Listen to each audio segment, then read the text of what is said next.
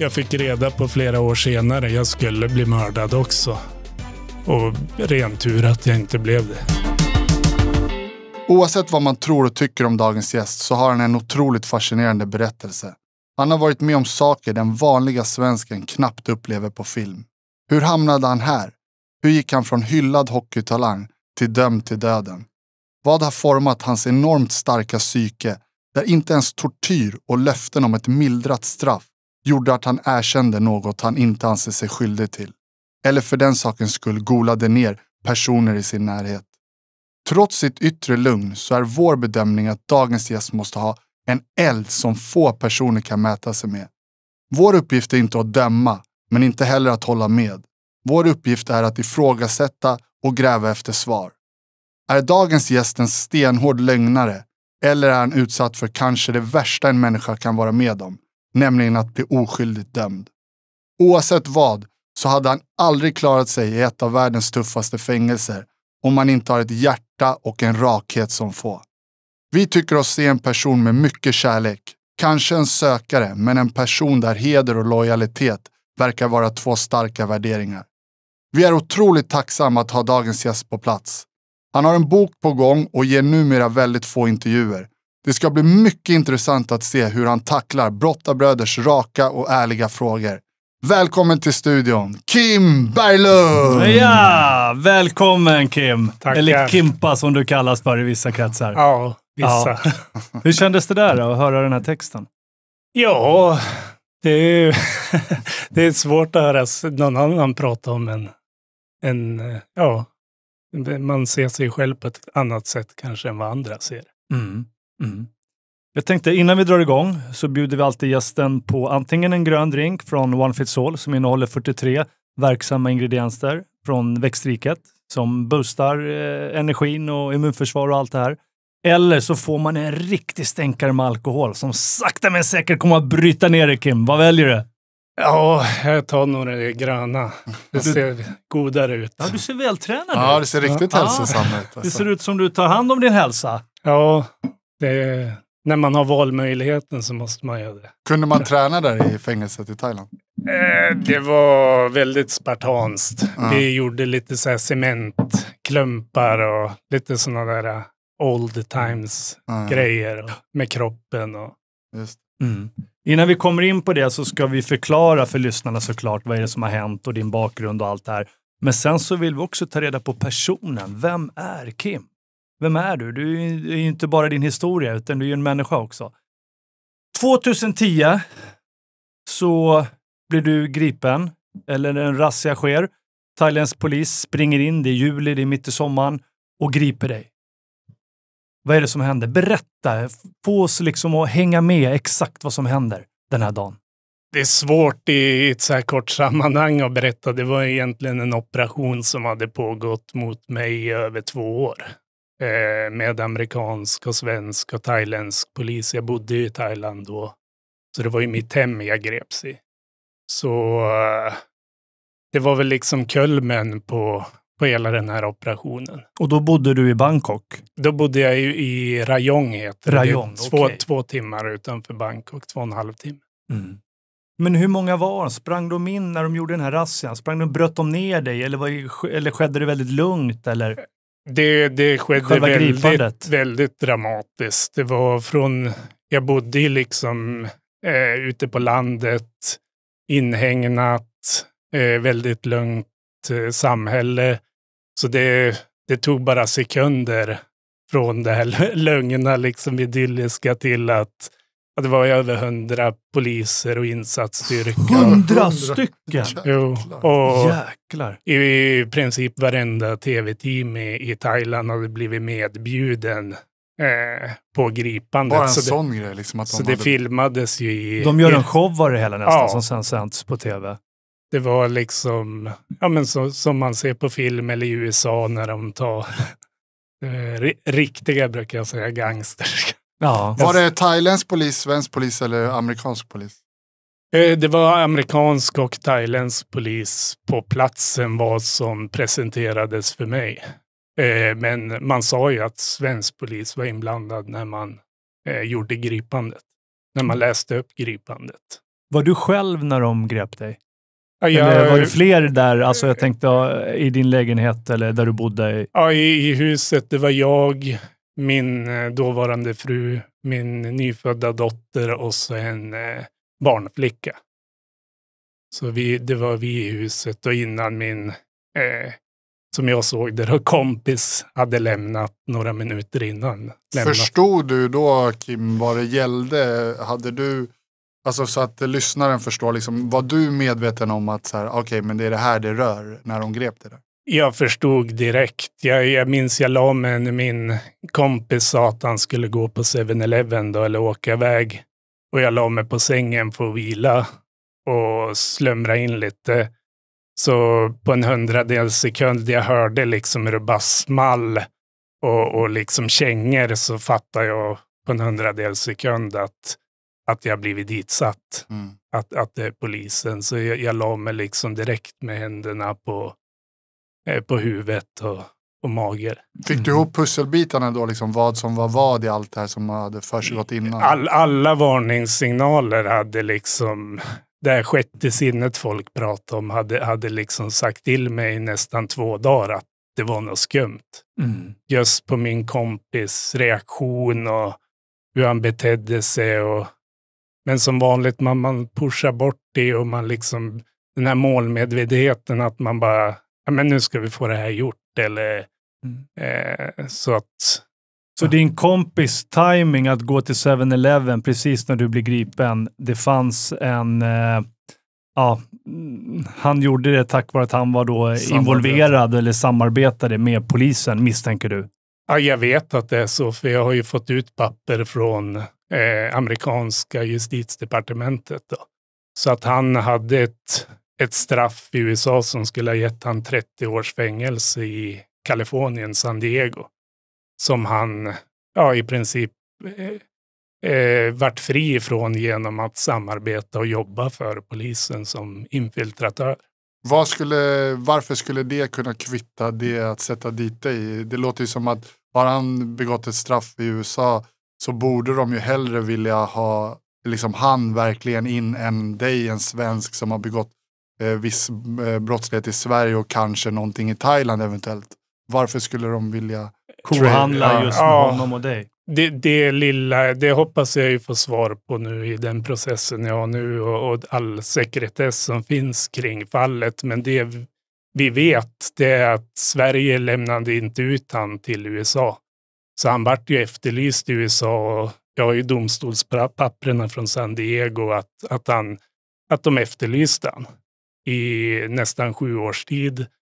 Och så han var ju fast här i Sverige tills han via Rikskriminalpolisen idag, NOA, gjorde en, en deal med DA.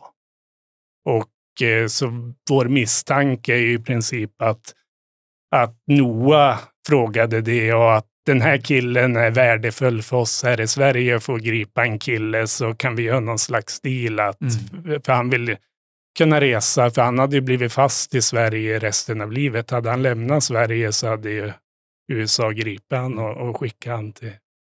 Och vad ville Sverige då, bara så vi förstår, eller hur eh, det skulle kunna ha fungerat. Vad ville Sverige med att statuera ett sådant exempel just med att få dit eh, dig då, om man tänker? Ja, det är ju också sånt jag får spekulera i. Eh, liksom försöka bygga ett pussel. Men det jag kan liksom komma på det är ju att jag eh, var ju en av de första här i Sverige att öppna internetapotek som sålde eh, doping Mm. och, och mediciner på internet. Det var ju tidigt 2000-tal jag började med det. Mm. Innan det fanns Mm. internetshoppar egentligen. Det var bara sådana här eh, forum liksom som... Så det kanske var en strategiskt viktig bricka i att visa att så här, det här är ingenting som ni ska ge er in på. Liksom, vi behöver en som, blir liksom, som vi sätter dit Statuera ordentligt. exempel. Ja, och så de, dels att jag hade blivit förmögen och, och kanske bodde i Thailand och, och att de Mm. inte ja, kunde sätta dit mig kanske på an, andra vis. Mm. Men okej, de stormar in, de eh, hundratals poliser, tv-kameror, allting. De bryter ner dig, du eh, förs därifrån i, från huset. Då. Men vad anklagades du för då? narkotikatillverkning. Och det, det säger man direkt när jag, när jag grips så säger ju det och det till mig att vi, vi har satt dit dig nu och vi, det enda vi är intresserade av det är att du samarbetar och sätter dit alla runt omkring det. Så det var liksom inga krusiduller eller, mm. eller så liksom. Och, och jag kollade, jag tror ju än idag inte att det var knark utan det var ju de sa att de hittade knark då? De, de sa att det, det, är knark här och jag, och jag liksom sa jag ser inget knark här. Det var liksom flaskor och kemikalier och sådär och då, då liksom bara fnös de ungefär. Så, ja, okay, är det, och det kunde den... aldrig du kontrollera. Nej. Men för att uh, man ska förstå då, så att din vän som hade kommit till dig i Thailand, han hade satt upp det här uh, inom situationstecken lab, labbet. Ja. Och du hade på något sätt låtit han göra det men inte varit mer involverad än så eller? Ja, han är ju kemist. Eller, eh, och det var ju så han hade åkt dit till USA. Han hade ju hjälpt några att sätta upp ett, ett eh, ecstasy-laboratorium i USA. Då. Och det här hade ju liksom DA följt och, och dokumenterat. Så att eh, mycket av den här karaktären Walter i Breaking Bad är ju från ah. det här caset. Då. Mm. Så han var ju mm. eh, ja, kemist, en, en vanlig hur ska man kalla det, nörd kanske. Mm. Och inte en kriminell, men som ändå intresserar sig för narkotikatillverkning och vart som en guru på, på internet i just narkotika. Hamnade han över på den felaktiga sidan på grund av att det fanns stålar eller var det så att han blev pressad från kriminella att eh, bistå med sin kompetens? Du vet. I början var det nog bara att han ville vara någon på de här forumen och sen vart han ju, sen tror jag som, som alla när man blir någon så blir det liksom att man får lite storhetsvansinne och tycker att det är spännande. Och, och då är det ju klart att de riktiga kriminella eller eh, kartellerna eller mm. snappar upp. Och, och han enligt egen utsago så var han ju i Mexiko och, och lärde kemister där från, från en kartell och, och i narkotikatillverkning. Mm. Så det var ju så han hamnade i USAs, vad säger man, klistret mm. han hamnade i där. Men drev du en dopinglaboratorium eller fabrik också i kombination med det här? Eller hade ni ingen doping, hade det ingen tillverkning alls? Eller var det när det gällde den delen? Nej, jag, jag tillverkade doping i Sverige. All min, om man ska säga kriminell verksamhet var mm. ju i Sverige, ingenting i Thailand. I Thailand bodde jag bara, så det här labbet man ser när jag grips och mm. så, det är ju någonting som, som byggdes dagarna innan. Det vad, hade, vad sa din vän till dig då, då? Varför började han ställa upp massa uh, grejer där? Då? Det var en process i, i nästan ett års tid där han behövde pengar. Eh, han ville flytta till Thailand. Han behövde hjälp. Han hade ett, ett labb här i Stockholm och företag som handlade med kemi och, och, och sådär. Då i, så att han hade ju det som sin verksamhet. Men lagade han upp det då till dig som att så här, det här behövs för att jag ska labba på liksom, om lagregler eller sa han så här att jag kommer behöva göra vissa grejer för att tjäna pengar? Eller vad, vad, vad, kände du till om de grejerna som han började ställa ja, Jag visste fallet han hade i USA. Hur han och jag varit vänner eller kom i kontakt var eh, runt fem sex år innan jag greps. Just på grund av att jag köpte labbutrustning för min steroidtillverkning i, eh, på hans företag. Mm. Och han fattade ju att jag kommer där en ung kille och beställer den här utrustningen. Så han fattade att jag gjorde något skumt. Och, så han en dag, då, då sa han ju att ja men bara så du vet, jag kan narkotikatillverkning så håller du på med något sånt och har något och tjäna pengar så kan jag vara behjälplig. Mm. Och jag eh, hade ju mitt med doping, jag sysslade inte med narkotika, men där vart det ju ändå någon sån här kompiskontakt att, mm. Mm. att man är av samma skrot och korn på något sätt. Mm. Så det var så vi kom i kontakt. Vi, vi ska komma tillbaka på, jag tänker rättegången och när du åker in i fängelset i Thailand och blir dömd till döden och allt det här. Men, men om vi backar bandet lite grann. Jag tänkte, du, berätt, du sa att du åkte dit i Sverige för att du hade haft ett eget, eh, en egen dopingtillverkning. Eh, hur gick det till? Vart var det någonstans? Var, var, var, var låg det här, uh, den fabriken eller laboratoriet eller vad man ska kalla det för? Där du tillverkade Jag kan doping? kalla laboratorium är kanske lite, Ja. det, det är inte så avancerat utan det var att jag hade en tablettmaskin och eh, tillverkade tabletter. Vad var det Eh, för typ anabol- av doping då? Var det... Det var anabola steroider. Mm. Och det Ja. går att göra alltså, från man köper in grundingredienser och en tablettmaskin. Liksom. Ja, det var det här eh, är ju också tidigt 2000-tal så att man, det är inte som idag, det var inte så enkelt att lära sig. Liksom, nu kan du väl se det på Ja, Youtube. förmodligen. så Hur vi- gammal var du då? Då var jag väl 22, 23 och eh, började med att jag importerade en, en sån här gammaldags tablettmaskin och, och ämnena från Kina och satt och labbade och liksom hitta olika mixar och, och försöka få till en tablett och färga dem. Och, så det var lite en blandning, inte så mycket att det här ska jag bli rik på, utan det var mer, jag hade hamnat i den här äh, branschen som jag säger med doping lite mer för att jag var intresserad av träning. Jag eh, gillade och lite det här rebelliska, att vi, vilka är staten eller samhället att säga att det här är ju inget skadligt Mm. tycker jag, eller det är bara propaganda. Den lite, aspekten är ju lite intressant just runt doping. Vi kan bara ta den lite snabbt. Men just det här att ha, alltså äga sin egen kropp. Att oavsett vad man tycker så eh, om vissa grejer. Men om du vill bli hög på en substans eller om du vill dopa dig. Vad anser du där? Ska varje människa få bestämma själv? Ska staten få ha så här, liksom styra med sådana regler som de gör idag? Eller vad är din åsikt runt det? Jag är ju väldigt liberal. Ja. Jag är ju, det har ju varit sen mamma har berättat, sen jag kunde lära mig att gå ungefär. Att Mm. jag, vill, jag tycker att var och en ska få bestämma själv och, och ta sina beslut, så länge det inte går ut över andra. Oavsett hur farliga substanserna är och de här medlen och så vidare. Man måste informera.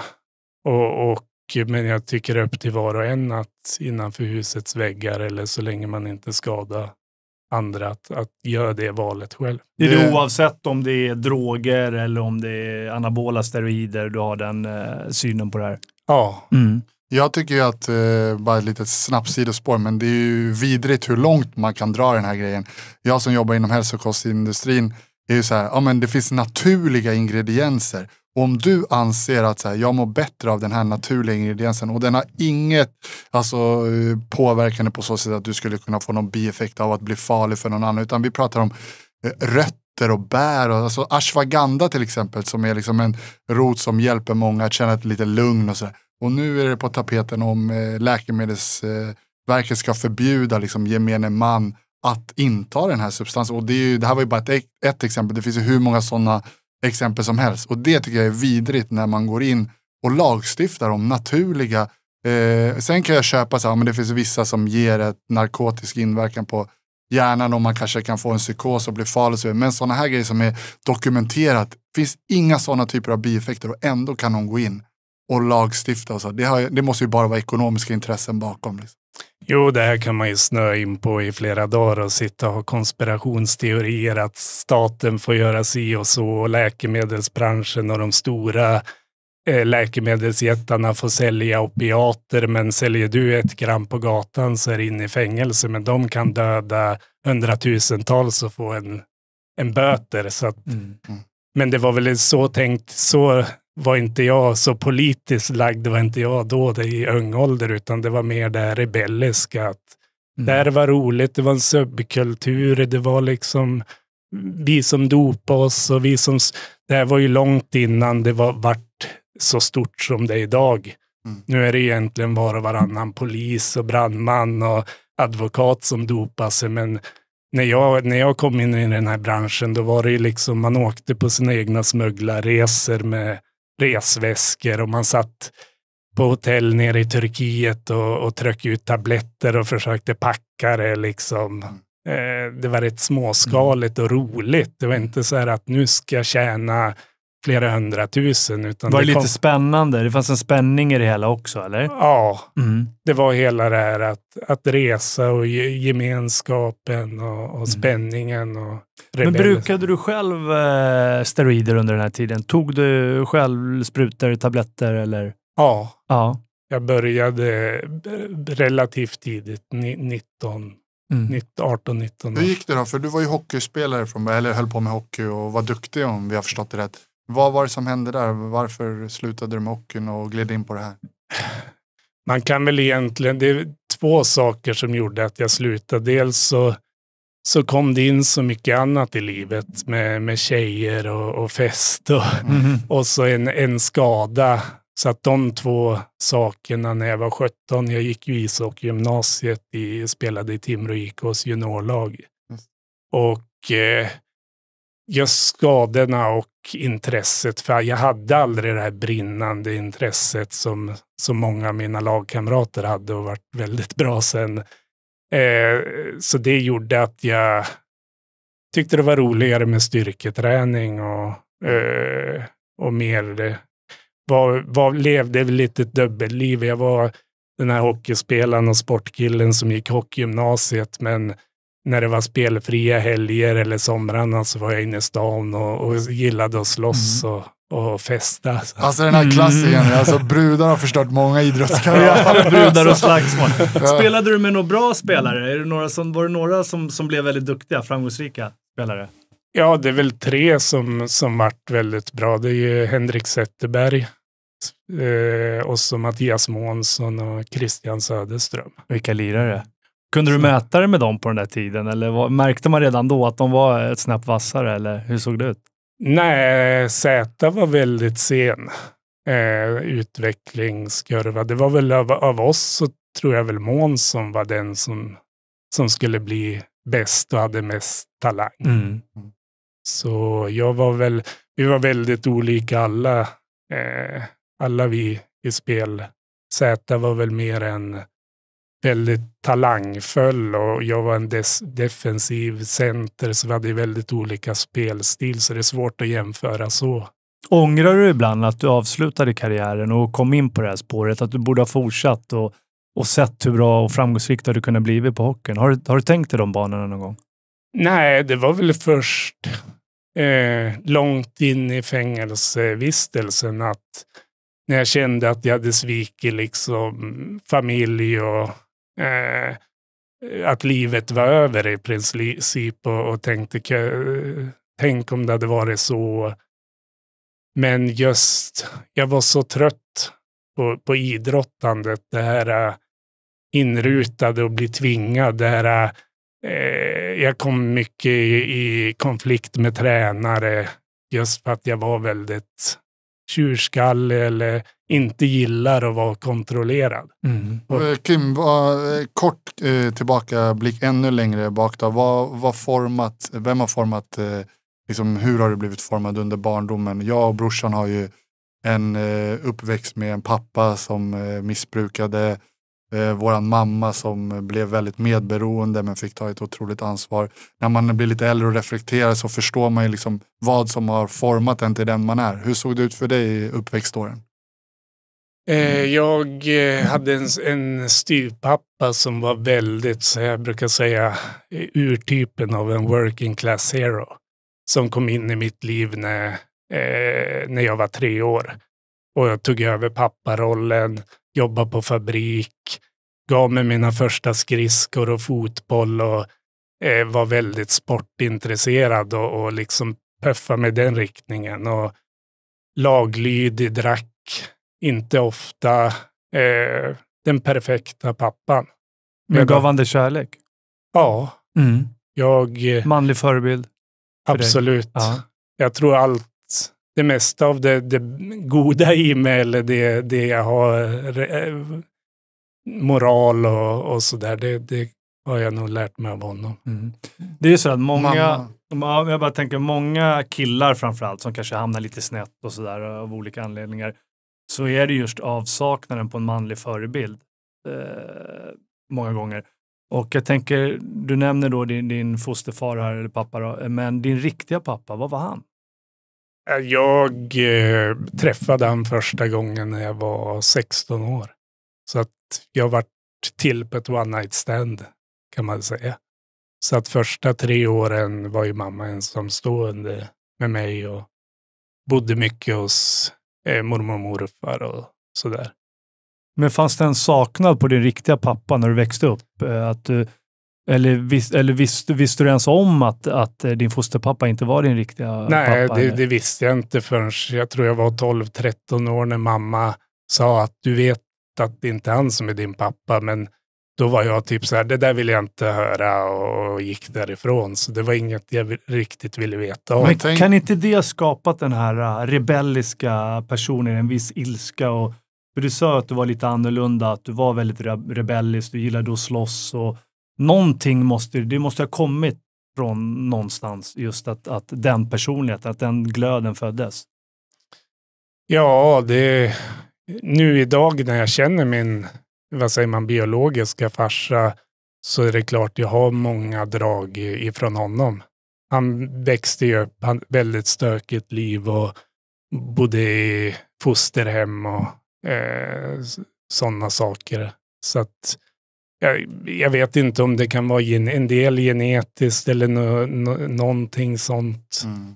Jag Mm. tänker också på, eh, det är så mycket som man inte så känner till här i livet överlag. Tänk om det är så att det är liksom så undermedvetet att här, om man inte är nära sin biologiska mamma och pappa att det rent kemiskt blir liksom någonting som händer som vi inte kan ta på. Vi kan ju sitta och reflektera över du säger så här att nej men jag hade en låtsaspappa som tog den rollen men kanske finns det någonting annat. Så här, för man känner igen det här, vi har Mm. hört det här så många gånger. Ja, just ja, att, ja. där pappan försvinner, den biologiska pappan. Men det är sånt vi bara kan spekulera i. Eh, men då i alla fall Kim så väljer du sluta med hockeyn och du någonstans gör det här valet att börja, vilket du känner till såklart, på eh, en olaglig väg. Liksom. Och tänkte du då någonstans att det här kunde innebär liksom, att du blir gripen och tänkte du på konsekvenserna av vad, vad det skulle kunna innebära när du som 19-åring började sälja doping? Nej, det, det gjorde jag aldrig, utan det, det var ju många små beslut under en lång tid som gjorde, jag, jag var 21 år första gången jag, jag greps för, för dopingsmuggling. Eh, och eh, hamnade i häkte första gången. Och, även om det bara var, jag tror jag satt två dagar då. Jag är anhållen, jag vart Mm. aldrig häktad. Och jag minns att när jag satt där, nej det här ska jag aldrig om och nej fy vad hemskt att sitta här och, och det hade inte gått mer än tio minuter från att jag släpptes från att, att jag liksom, ja, det, här var, det här var ingenting, det här, det här och så var jag igång igen. Kan det vara så då också att man känner så här, men jag kom ganska lätt undan här, att det är nästan så här boostar en lite, att ah, var det inte värre än så här? Att, det, att du fick någon liten sån där efter första. Jo, och det, det tror jag präglade hela min uppväxt för att jag, jag tror jag låg och räknade någon gång i, under livstidsstraffet när man går igenom livet i, i molekyler. Mm. Hur många gånger slogs jag under ungdomen? Ja, det var säkert över hundra gånger. Och det var bara en enda gång jag vart dömd för ringa misshandel. Mm. Och jag kom ju alltid undan för att jag var, även fast jag hade liksom pöckla på folk så både okben och tänder flög så, så var det liksom... Ja, men var det att du hopp- hade kort stubin och bara hamnade i sporadiska fighter eller var ni något gäng som eh, sökte upp eller varför var det så mycket fight då? Nej, det var nog att jag var, hade attityd och sådär, äh, men inte var så stor eh, byggd eller rätt oftast att, att jag hamnade i bråk med äldre, större killar. Mm. Var du orädd och, och så? Du gillar kaxig och, och du liksom letade bråk nästan? Ja, nej, jag hade fått smak för, för det. Jag minns mitt första slagsmål, det var i sjuan. Och jag var så rädd. Ja, Det, det var en äldre kille som, det var på en midsommarfest och eh, liksom jag backade, backa och jag kände liksom hur jag fick hjärtat bara bölta och jag var livrädd. Och det bildades ring och alla skrek slåss, slåss, slåss. Och så bara när jag inte liksom kunde ta mig ur eller backa mer så släppte det bara och jag, jag ja, sopade banan med honom. Och efter den kicken att shit, jag är bra på det här.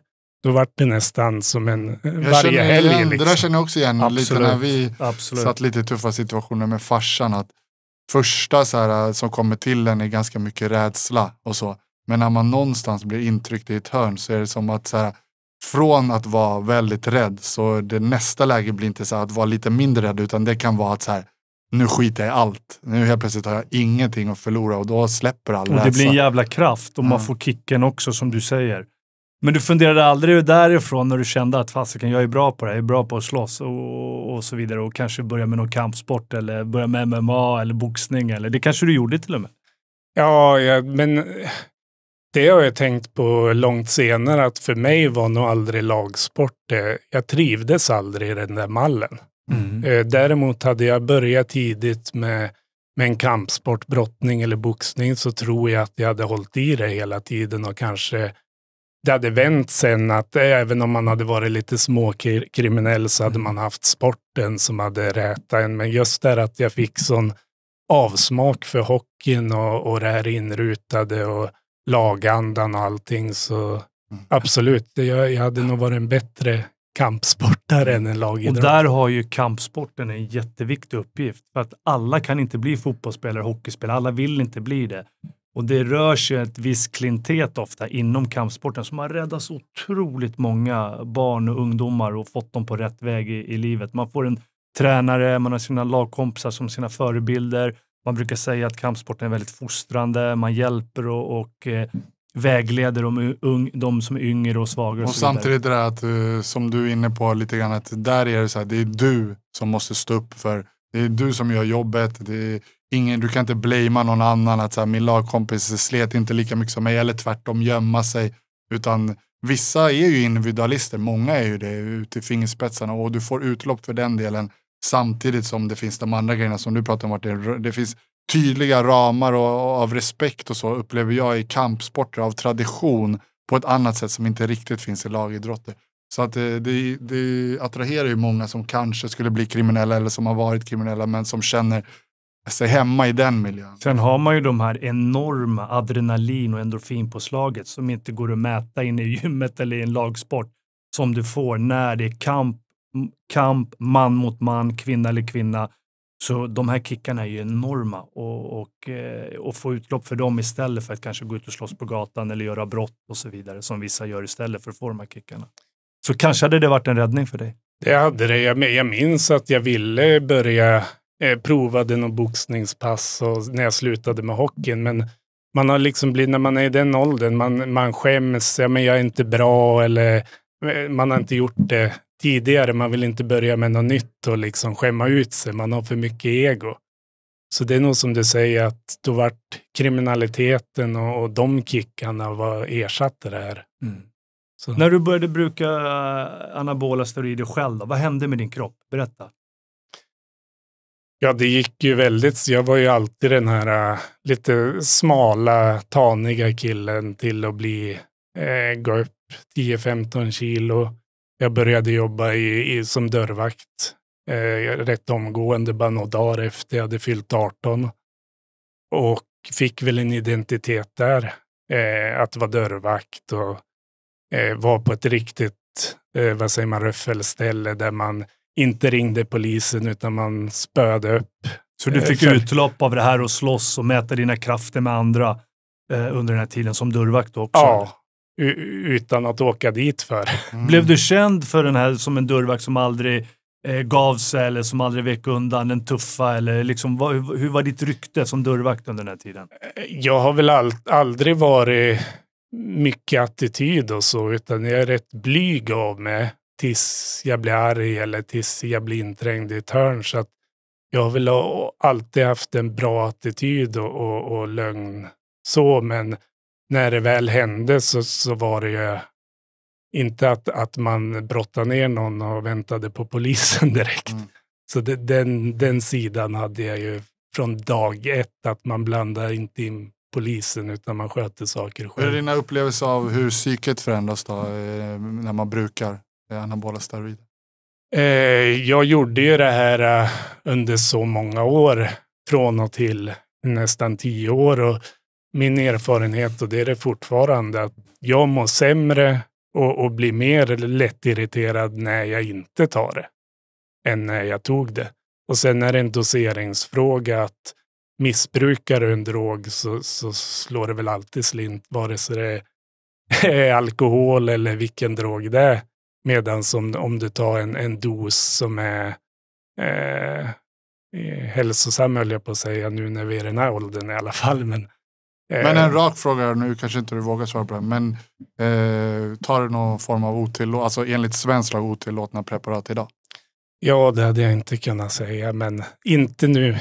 Jag eh, hade gärna velat gjort det, och, och, men mina testovärden är lite för hög för att få det utskrivet. Hade jag varit i USA hade jag definitivt gjort det, för där har de mm.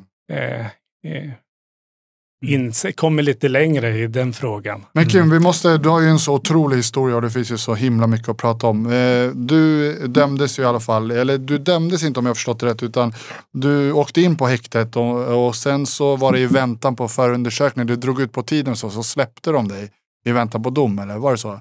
I Sverige. Ja, i Sverige. Ja. Alltså innan. Och då så stack du till Thailand, eller? Ja, det var ju drygt ett år efter jag släpptes från häktet. Ja.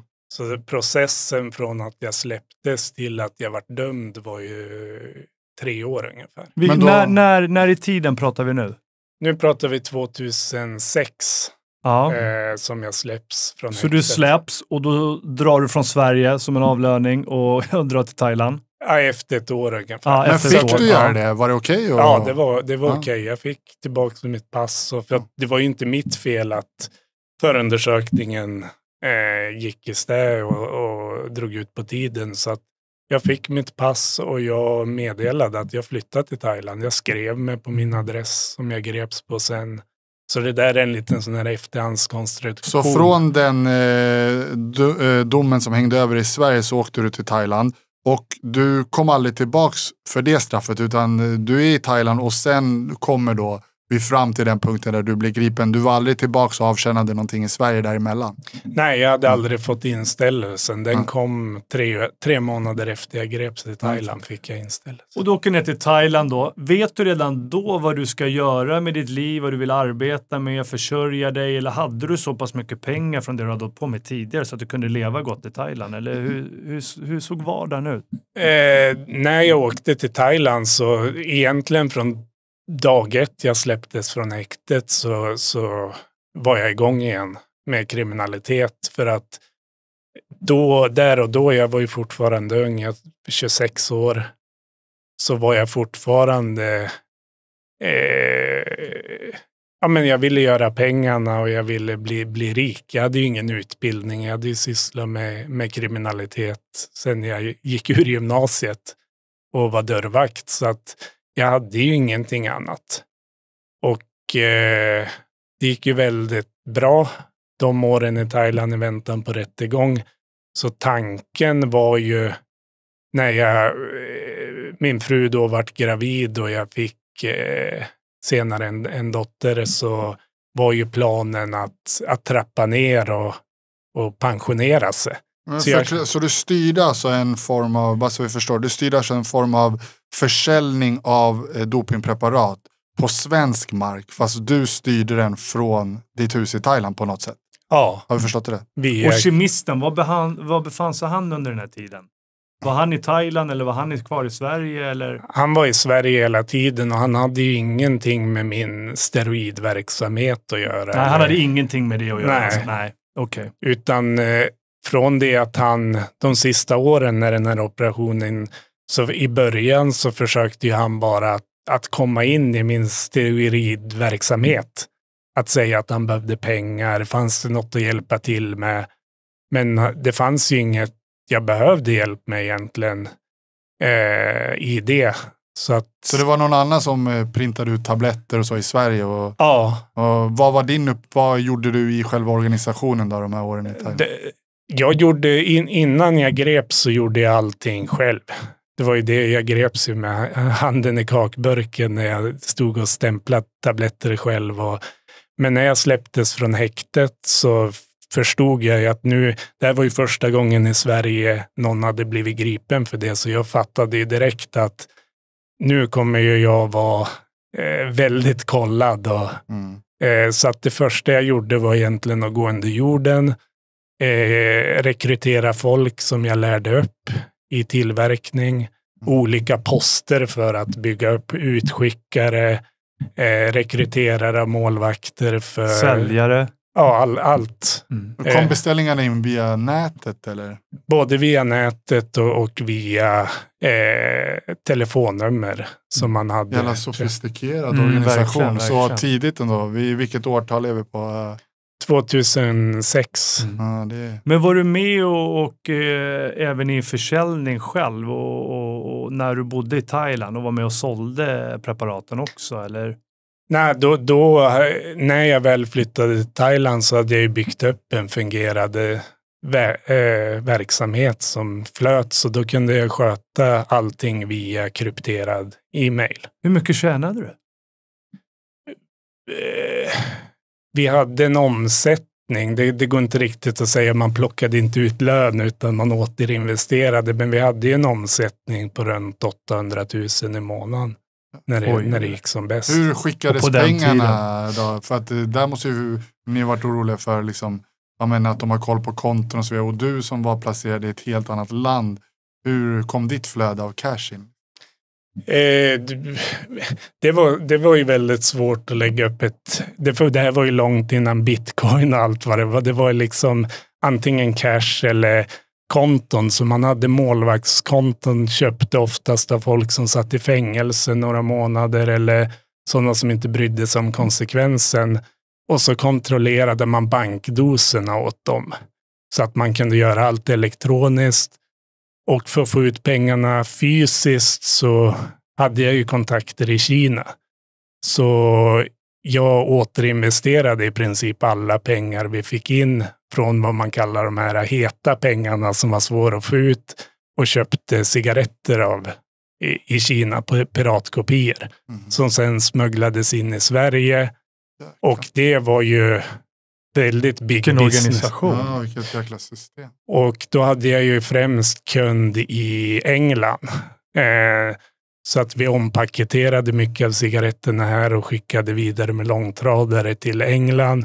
Och där kunde jag ju flyga eh, till London, för där visste ju inte polisen vem jag var eller något. Så jag Och då fick- hämtar du rena cash? Ja. Och, Du, men du måste ha levt som en kung i Thailand under den här tiden med så mycket pengar. På, och jag menar, det här är ju ett tag sedan och ändå röra sig med de här summorna.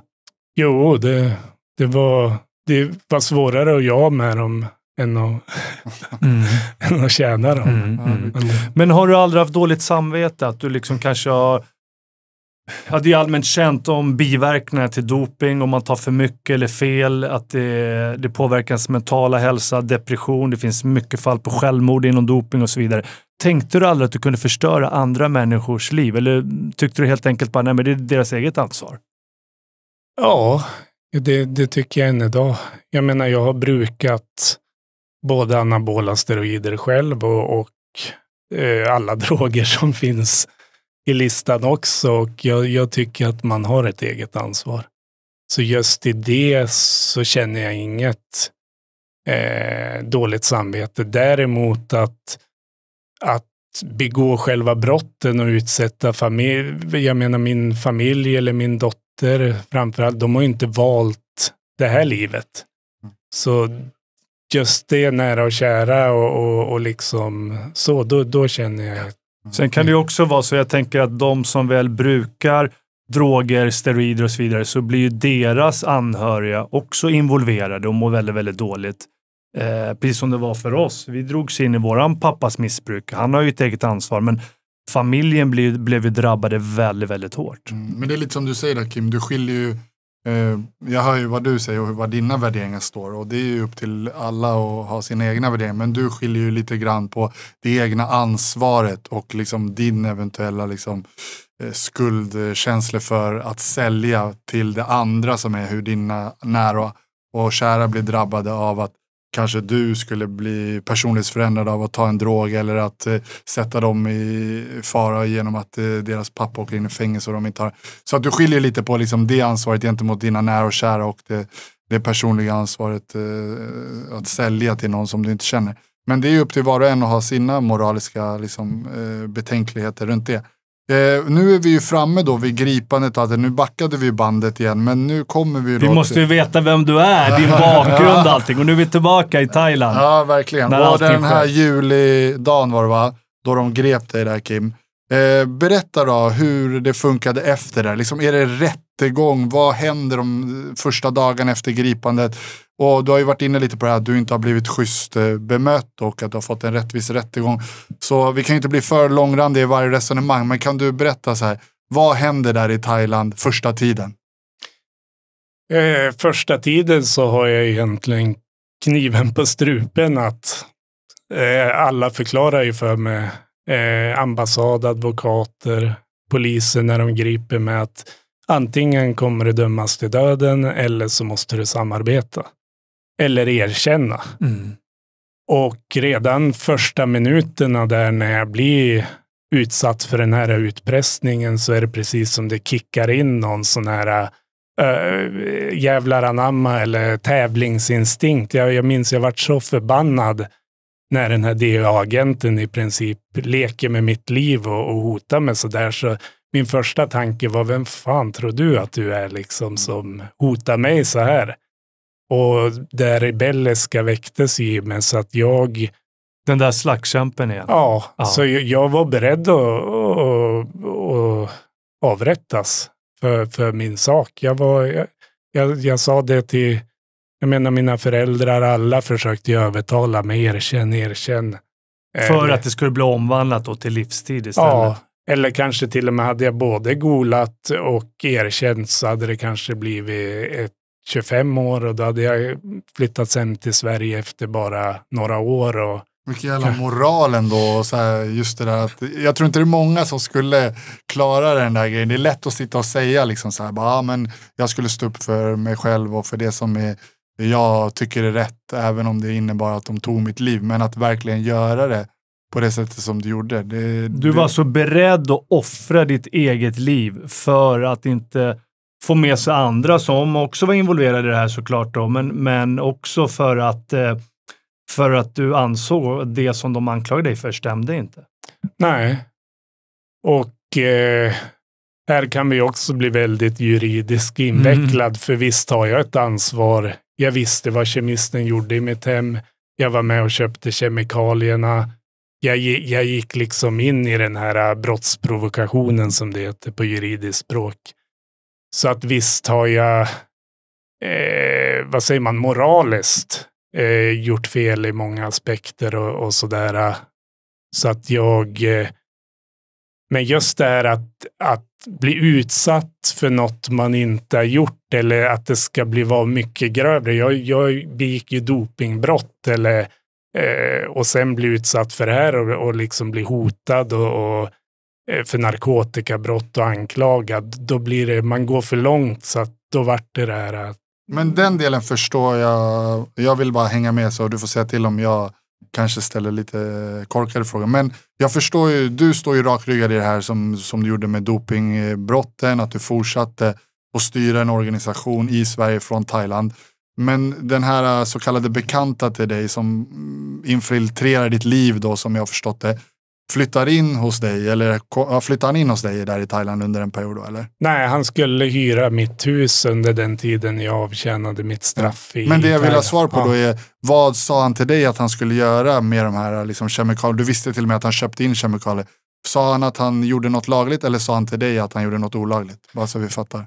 Det började något år innan igen. Det, det här är väldigt Ja. långt. Men för att göra det så komprimerat som möjligt så något år innan så sa han att han behövde pengar och, och önskade mina kontakter att hitta någon som ville köpa ett recept så att han kunde tjäna på narkotikatillverkning. Det var ju det här han hade gjort, äh, tjäna pengar på tidigare när han var gripen eller efterlyst av USA. Så att han, så hamnade jag i hela brottsprovokationen genom att länka honom till personer i min kriminella närhet som var beredd att köpa och tillverka narkotikan. Och under den här eh, tidsperioden så vart jag ju mer och mer involverad för de personerna tyckte att jag hade ans, de ville inte träffa han och han i sin tur ville ju sätta dit mig och hade ju pressen från polisen och väva in mig så det vart ju en process under ett år där jag varit mer och mer involverad än jag kanske hade tänkt för jag hade ju alla pengar i, i världen nästan och hade inget egentligen finansiellt intresse av att involvera mig i narkotika. Mm. Men eh, genom att hjälpa honom och, och, hjälpa andra och sen bli involverad så vart ju kulmen på det här att, att jag ställde upp på att eh, ja, men han skulle lära mig det här eller visa att han hade ett bra recept som kunde säljas vidare. Så de här äh, knarket som skulle tillverkas i mitt hus, mm.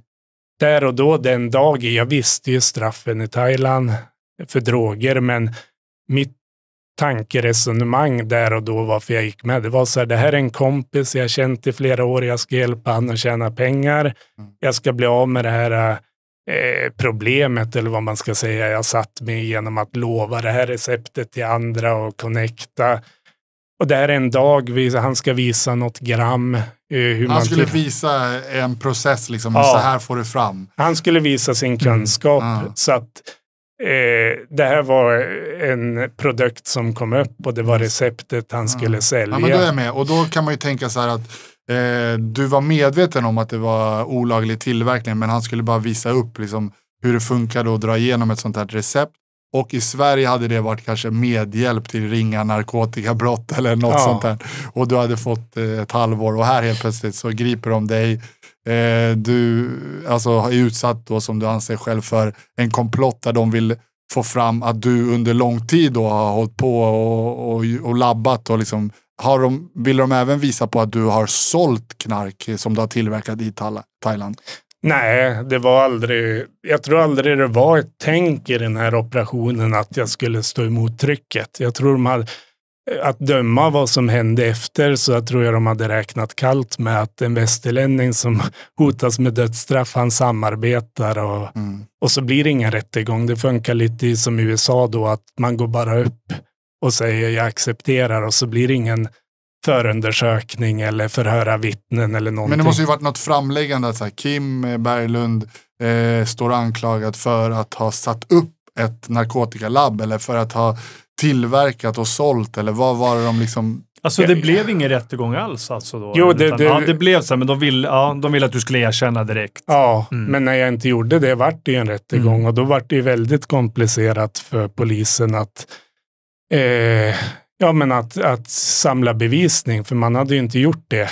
Så att, och, till exempel narkotikan som sades hittades, det fanns ju inget eh, bevis på att det har funnits. Det fanns, de sa att det var sekretessbelagt labbanalysen. För vi ifrågasatte vad de här 53 grammen som är strax över gränsen för dödsdom som är 20 gram i Thailand. Mm. Vad, vad kommer de, hur, hur kom de fram och kan vi få ett gram av det och, och labbanalysera, sa mina försvarare och det fick vi aldrig. Hade du thailändska försvarare eller var det svenska försvarare? Eh, thailändska. Thailändska, ja. Och kemisten, han hade gått under jorden totalt då? Ja. ja. Så han fick jag ju aldrig någon... Eh, USA fick vi ju aldrig eh, fick ju aldrig korsförhöra vittnen eller vad man säger, utan det var ju en show trial som man säger. Mm. Skådespelsrättegång. Och du sitter just nu pågående och med den här processen att försöka få ut så mycket information som möjligt. Och du skulle ju aldrig sitta här idag och säga de här sakerna att det finns bevis som tyder på att det var en komplott och att det var ett samarbete mellan eh, myndigheterna i USA och sådär. Så men hur får man ut sådana uppgifter? Då? Kan, går det att få ut sådana uppgifter från USA? Då, eller? Ja, de har ju något som, som liknar i, i Sverige, eh, vad säger man, allmän sekretess. Och, så det, det heter Freedom of Information Act som man kan begära ut. Och jag begärde ut det och hade väl bara väldigt tur att det var någon, det hade gått många år, jag hade väl blivit bortglömd eh, där borta i USA, så att det var väl någon trött tant på justitiedepartementet som glömde censurera vissa saker eller Mm. även där så var ju 80 procent censurerat. Men det lilla de hade glömt och maskat var ju att, att det var Rikskriminalpolisen och en infiltratör här då som hade startat hela operationen genom att kontakta det och så det, det liksom gav ju, och Sverige i flera år och Rikskriminalen hade ju sagt när jag och min familj begärde att få, jag visste ju att jag var ditsatt så jag visste att det fanns jättemycket dokumentation i Sverige som stöd, som jag hade behövt i Thailand för att försvara mig. Som vi aldrig fick, men efter då fem år i USA, jag fick de här papperna, kunde jag återvända till Sverige här och, och ifrågasätta nu måste ni hjälpa mig att få en ny rättegång i Thailand. Det är en lögn. Det är ju, kolla här, nu har jag papper från USA. Så då började jag ju pusha svenska min riksåklagaren, åklagarkammaren, polisen, justitiedepartementet. Men då får ni tänka, det här har vi en svensk som har suttit över sex år i Thailand, blivit ditsatt. Thajarna vet antagligen inte hela den här komplotten, utan de har bara fått gjort gripandet och blivit fördbar. Så det blir ju värsta Mm. vad säger man, politiska skandalen om det skulle komma ut. Mm, mm. Så det skulle ju bara sopas under mattan hela tiden och inte bli något då. Mm. Eh, det slutar ju med att det går så långt så att till slut vill ju inte Sverige ha hem mig heller. Eh, för att de vet att den här processen Ja, men de kan väl inte förbjuda dig att komma tillbaka till ditt hemland och du är svensk medborgare? Nej, det, det var ju egentligen så det slutade, men man försökte ju att, att, att jag inte skulle komma hem, för då menar de på att i och med att jag inte har erkänt brottet och hävdar att, att Eh, jag blev utsatt för en komplott och att rättegången inte var ärlig i Thailand, så kan de inte ta hem mig och avtjäna straffet, för det skulle vara emot mänskliga rättigheter. Så man använde en, en lag i Europarätt för mänskliga rättigheter, men tvärtom emot mig för att inte ta hem mig. Okej. Ja, Så det är, det är väldigt Ja, komplicerat. komplicerat. Komplicerat. Vad hände med kemisten? Eh, Han gick under, under jorden. Eh, Var befinner han sig idag? Har man någon aning om vad... Det lilla vi vet, och det, det är intressant för att officiellt så jobbade han ju åt USA enligt Sverige, men han har levt med skyddad ny identitet och, och på skattebetalarnas pengar sedan den dagen han landade i Sverige, en dag efter mitt gripande. Så han lever med ja, skyddad ny identitet. Har du varit bitter och arg eller hämndlysten mot honom? Eller hur har dina känslor varit? Jag menar, en människa som försöker att, att få en att bli dömd till döden. Det måste ju vara fruktansvärt. Faktiskt aldrig mot honom. Där har jag mycket mig själv. Alltså jag, jag inser själv att ja, han, gjorde, han gjorde vad han gjorde. Han är inte kriminell och lever efter kanske det hederskodex jag har levt efter. Han eh, försökte bara rädda sitt eget skinn och, och eh, jag är inte så bitter på han. Han har blivit utnyttjad tycker jag också. Det, de jag är bitter på och arg, det är ju svenska myndigheter Mm. poliser och jurister och åklagare som, som ska vara våra beskyddare i samhället, men som istället har suttit och konspirerat och, och försökt fått mig dödad i princip om man ska dra det långt. Mm. Har, du, har det liksom byggts upp ett samhällsförakt inom dig? Ja, men inte på den nivån att det är mot samhället. Det finns jättebra personer inom samma myndigheter som jag föraktar kanske, som har gjort jättebra saker och, och hjälpt mig och sådär. Så det, man brukar säga att alla är så kriminella eller vilken kategori av människor Mm. så finns det onda och goda. Eller, Mm. Ja. Men Kim då, eh, då blir du ju, du får en dödsdom, du blir dömd till döden. Vad händer i dig då och vad händer med dina anhöriga? De läser upp den här domen att eh, Kim eh, Berglund, ja då het- hade du ett annat namn, men är... eh, Hur gammal var du då när du får dödsdomen? då var jag 30 år. Alltså du är 30 år gammal, du befinner dig i Thailand och blir dömd till döden. Liksom, vad är känslan? Liksom, är det mitt liv är slut? Eller var det liksom fasiken, jag ska visa allihopa, det kommer ordna sig ändå? Eller liksom, hur ta går oss med, tankarna? eh, Vi får höra vad han säger. Eh, jag får korrigera det lite, så jag, jag dömdes där verkligen jag var under dödshot eller så, det var ju under 14 månader från att jag grips när jag vägrar att erkänna tills den dagen jag får domen. För när jag får domen, då döms jag ju till döden, men det omvandlas till livstidsfängelse direkt efteråt. Hur långt är det däremellan? Det, det är bara minuter Ja, emellan. det är bara minuter emellan. Men de här Ja. 14 månaderna, då vet jag ju att jag kommer få dödsstraff. Eh, det är bara att eh, dagen innan rättegången eller domen, då skickar Fredrik Reinfeldt, som var vår statsminister, då ett brev efter påtryckningar från människorättsorganisationer utomlands, inte i Sverige. Eh, ett brev till Thailand där, där man säger att ja, Sverige är emot en dödsdom och för våra goda relationer eh, avrätta inte eh, Kim. Men det här visste ju inte jag om förrän... Ja, så i det- 14 månader går du runt och ställer in det på att du kommer, de kommer att ta livet av dig. Att jag kommer få dödsdom i alla Ja. fall. Vad händer då, då med ditt psyke? Och... One Fits All är en grön formel av torkade växter kända för sina hälsofrämjande egenskaper. Jag upplever att jag får mer energi, ökad uthållighet och ett bättre immunförsvar. Med koden LIDBERG får du nu 300 kronor rabatt per månad på onefitsall.se. Jag tror aldrig jag tänker på konsekvenserna så mycket, utan man lever dag för dag. Man kliver upp och, och liksom kämpar. Det är hela tiden nya idéer. Hur ska jag vinna det här? Vem ska jag kontakta? Hur ska jag överleva? Man får ju tänka att dels var det ju att försöka vinna caset eller få bevisning, men sen var det ju en daglig kamp att, att överleva i fängelset också. Överlevnadsinstinkten tar över. Liksom. Hur, hur, av, hur avrättar man folk i Thailand? Numera med giftinjektion, Och tidigare kulspruta. kulspruta. Ja, det är sjukt. Det var inte så länge sedan de tog bort det heller. 2004. Alltså det säger del. Men indirekt kan man säga att Fredrik Reinfeldt, han har alltså räddat livet på dig. Kan man säga så? Eh, nej, det tror jag inte. Människorätts... Han hade nog inget val.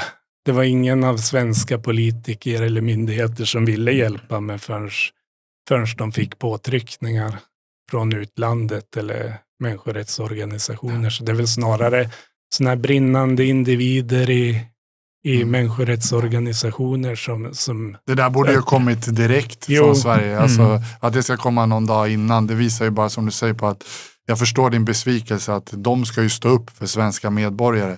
Och när det är ett sånt typ av brott som i Sverige inte ens i närheten av någonting som skulle ens eh, handla om livstidsfängelse, då måste ju de gå in och markera att här är våra medborgare, vi vill att han ska bli behandlad på det här sättet och stå upp. Och, ja, där, det förstår jag att det finns en Så det finns inget tacksamhetsskuld alls till liksom svenska myndigheter eller vissa personer eller sådär, just för att de, utan det var en självklarhet och det borde de ha gjort mycket längre, långt innan, eller hur, hur går dina tankar kring det? Ja, det, jag, jag krävde aldrig att, att bli räddad från dödsstraffet. Det enda jag krävde var att få en ärlig rättegång Mm. med alla papper på borden. Och sen hade jag blivit dömd i så fall för det att man inte godtog att det var en brottsprovokation, ja, då skulle jag, jag hade inte kunnat utfört brottet själv. Jag är inte kemist. Mm. Jag hade, så då skulle jag ju bli dömd kanske till tio års fängelse för att ha köpt kemikalierna.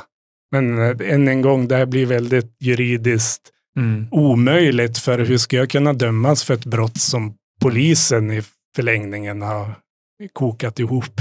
Men hade du någon känsla där innerst inne att det här kommer att lösa sig? Jag, jag kommer aldrig bli avrättad. Eller liksom, fanns det en tveksamhet kring de här tankarna? Man lever ju alltid på, man är alltid, jag tror det att man, hoppet är det sista som överger så man, man har ju alltid hundra livlinor eller som man tror kommer rädda en. Men man får inte glömma att 2009, alltså samtidigt, bara ett halvår innan jag greps så, så avrättades två personer i Thailand för ett mindre narkotikabrott än jag hade begått. Så att när jag kommer till häktet så är det ju liksom surr på rastgården att ja, men där är det är första ute. Det här, han kommer att bli avrättad för det här, de kommer att stä- Och det sa ju thaipolisen och åklagaren i deras plädering eller att det är första gången vi har en, en utlänning. Vi måste statuera exempel. Det finns inget annat än Så det var ingen utländsk medborgare som hade blivit avrättad? Så du... Ingen västerlänning utan eh, från Hongkong. Mm. Och hade- det var ju kanske, det låg ju dig kanske i fatet då mer än vad det... Ja, statuera exempel Ja, som du statuera. säger. Så det var mer snack om det, att, att statuera exempel. Och det är det som är så farligt i sådana här länder som, som Thailand. Att Mm. Det handlar egentligen inte vem är den farligaste förbrytaren eller någonting, utan det är de här, lite som i USA, politiska vindar. och Ibland ska någon avrättas, ibland ska det göras exempel. Och, så det är lite timing och tur och Ja. vilka som går Men, men det här måste, alltså, jag tänker bara fruktansvärt. Bli, bli dömd till döden och riskera då dödsstraff. Samtidigt så har du en dotter som är väldigt, väldigt liten den här tiden och är pappa och vill självklart finnas för henne och så vidare. Eh, gick dina tankar mycket till familjen och dottern under den här tiden? Eller? Ja, det var, det, det var ju det första, redan första natten i, i polisarresten så var det ju, jag visste vad jag, jag hade läst böckerna innan om thailändska, jag visste vad som väntade. Jag visste rättssystemet, så liksom sannolikheten att, att jag kommer att dö eller sitta i alla fall ett decennium i fängelset under de här, det, det visste jag var liksom överhängande. Så att det enda jag bestämde mig, ska jag ta livet av mig eller ska jag kriga? Fanns det de tankarna så att du funderade på att ta livet av dig? Aldrig realistiska, men det var liksom shit vad länge. Är det så, och, och kolla runt om sin kallcell, eller kall var den inte, men liksom bara cement och hårt Mm. golv. Är det så här, kan man leva så här i, Mm. i liksom... Eh, Kim, de här 14 månaderna innan du fick liksom den officiella domen, då var du på ett fängelse eller är det liksom som ett häkte med eller vad var det då första tiden? Ja, ett, ett häkte. Men Ja. det ser ju ut i princip likadant på alla fängelser. Kan du förklara för oss hur det såg ut och hur en dag var där? Eh, en dag var vid sextiden så låses celldörren upp och så går man ner på en fängelsegård. Det är väldigt likt det man ser kanske i film från USA. Eh, bara att det är mycket mindre och mycket mer folk. Så vi var ungefär tusen personer på en avdelning som är ungefär som eh, en liten gymnastikhall eller så. Och då ser man himlen och solen lyser ner Ja. på, på gården. Och, ja. Och så är det vakttorn och, och bara så här elstängsel och taggtråd. Så det finns ju egentligen inget att göra utan man kommer ut där och, och, och ska liksom vara där tills två på eftermiddagen när man Man går som en råtta i en bur runt, runt. Och, Ja, det finns inte så mycket ställen att gå på, men man gör sina sysslor. Man får två skålar ris eh, den tiden, en på morgonen och en innan inlåsning. Man ska kriga om vattnet, det lilla vatten som, som pumpas in.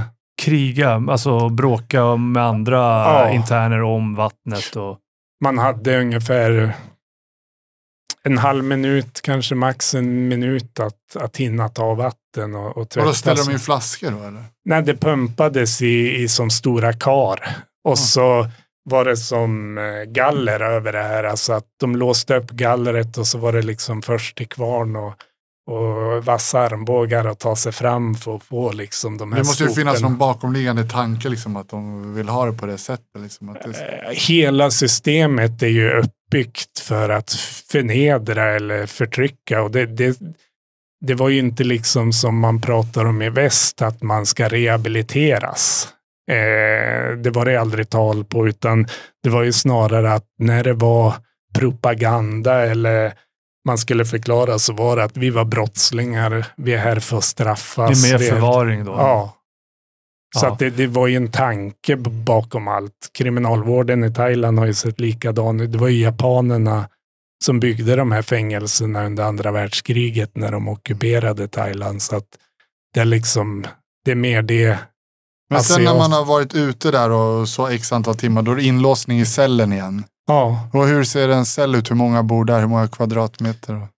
vi, det, det, kvadratmeter kan det vara 25. Det är svårt att uppskatta 25 kanske, men vad vi gjorde, vi var runt 60 till 70 personer i cellen. Så Åh. att vad vi gjorde, för alla fick ju inte plats. Så det var ju de nya som kom, de hade ju egentligen ingen plats. Så vad vi gjorde när vi kom in i cellen, det var att var vi började från en vägg och så ett, två, tre och så fick man knuten näve till armbågen. Så det var den platsen man fick. Jäklar. Och då brukade det bli ungefär fem, sex. Om man gjorde en, en rad så, en där och så i mitten så var det, brukade det vara fem, sex fångar som fick vänta och kanske sova någon timme tills det var deras efter några veckor. Deras tur och i kön liksom. Hade alltså varje person då med det avståndet en madrass eller var det rent golv eller vad, vad sov ni på? Eh, vi köpte sådana här filtar eh, som man kunde sy ihop. Eh, och göra en, som en liten madrass. Det var första, eh, första fyra åren jag satt som, som vi kunde ha det. Då hade vi ändå lite bättre än vi hade senare. Alltså det är så sjukt mycket Ja, frågor som kommer upp i mitt ja. huvud. Jag tänker bara så här, en sån sak som att gå på toaletten Ja, och hur exakt. skedde det?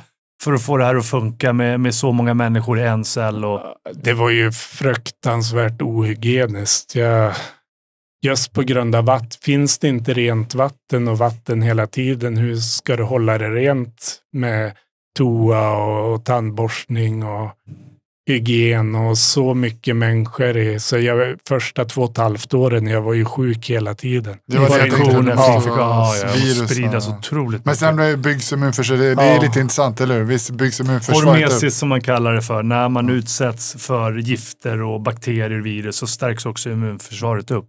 Mm. Eh, Så jag förstår att du var mycket sjuk i början säkert.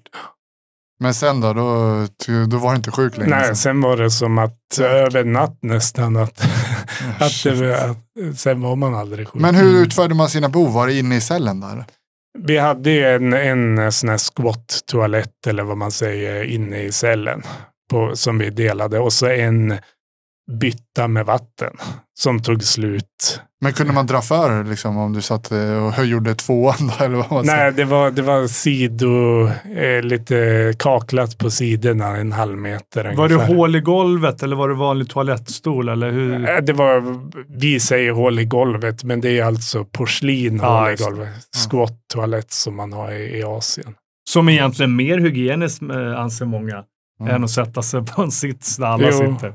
Så på det sättet, utan det var just det här vattnet. Mm. Att vattnet tog slut direkt. Så, Mm. Om du eh, blev törstig då? Man vet ju själv, man får ju typ panik om man ska lägga sig och är törstig. Om eh, du liksom var där då och så, jag antar att det var rätt varmt också i de här cellerna och så är du jättetörstig. Och då finns det bara inget vatten och du får vänta till nästa dag då eller? Var det att få in vatten eh, Nej, det, det var två sätt att få vatten. Ett, fängelset hade ju vatten eh, eh, som de bjöd på, eller som var väldigt, smakade klor, väldigt mycket klor. Mm. Eller så fick du köpa ditt eget vatten. Och va- vakterna hade ju sin butik och det var så de tjänade extra så att de sålde ju vatten och tandkräm. Och Hur fick du in pengar för att handla då? man har som eh, ett fängelse så anhöriga kan sätta in så att man har som ett fängelsekonto som man då kunde handla från fängelsets butik. Och du hade anhöriga som kunde, som, ja, som kunde Ja. sätta in pengar till dig. Så du, hade du det bättre än vad många andra hade då i fängelset? Alltså rent ekonomiskt tänker jag. Eller hur såg det ut? Ja, jag hade det nog så bra som man kan ha det. Ja, I, i, även om jag förstår att det är fruktansvärt såklart. Men, Jo. Så ju, just det där hygieniska och, och det var någonting man vände sig eh, rätt fort med. Att så här är det och, och Mm. det var just det här ensamheten och ovissheten att ja, när kommer man ut? Kommer man någonsin ut? Kommer man överleva det här? Mm. Det var ju det värsta. Inte Och det du fys- satt ju på det fruktade skräckfängelset Klong Prem, va? Som det heter, eller? Sen när du satt fängslad. Jag satt både på Bangkwan som anses vara det värsta och Klong Prem som kanske är det näst värsta. Ja, okej, okej. Så du satt alltså på de två värsta anstalten då i Thailand. Var det hierarkier och var det liksom grupperingar och eh, hur funkade det? Allt styrdes kring narkotikahandeln och eh, som nätverk inne i fängelset ihop med vakter. Eh, som ja, via mobiltelefoner ut, ut i, i samhället. Men vänta nu, så vakterna på fängelse var alltså involverade i, i knarkhandeln? Ja, det, utan deras hjälp så hade det inte gått. För det, mobiltelefonerna var ju ett måste för att kunna sköta handeln inifrån fängelset. Okej. Så de pengarna som eh, kom in i själva strukturen då, alltså som vakterna tjänar, är det liksom eh, länkat till staten på något sätt eller är de egna karteller eller hur, hur, hur funkar det? En vakt hade ju aldrig egentligen överlevt på sin lön, utan de överlevde ju på hur mycket fångarna kunde tjäna och spendera. Just det.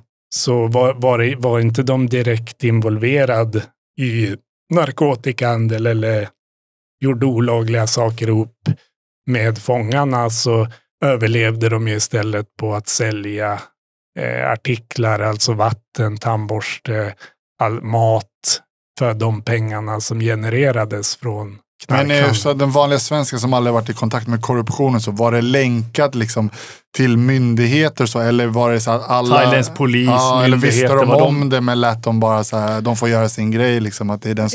I ett samhälle som inte har, som, alltså ett så korrumperat samhälle så skulle ju hela samhället braka samman om det inte fanns korruption.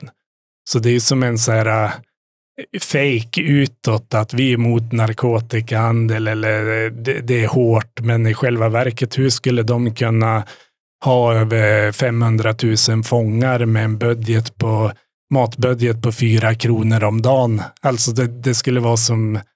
Eh, Så de är självfinansierade kan man Ja. säga. Mm, utan, utan hela eh, snurran så skulle det inte fungera. mm.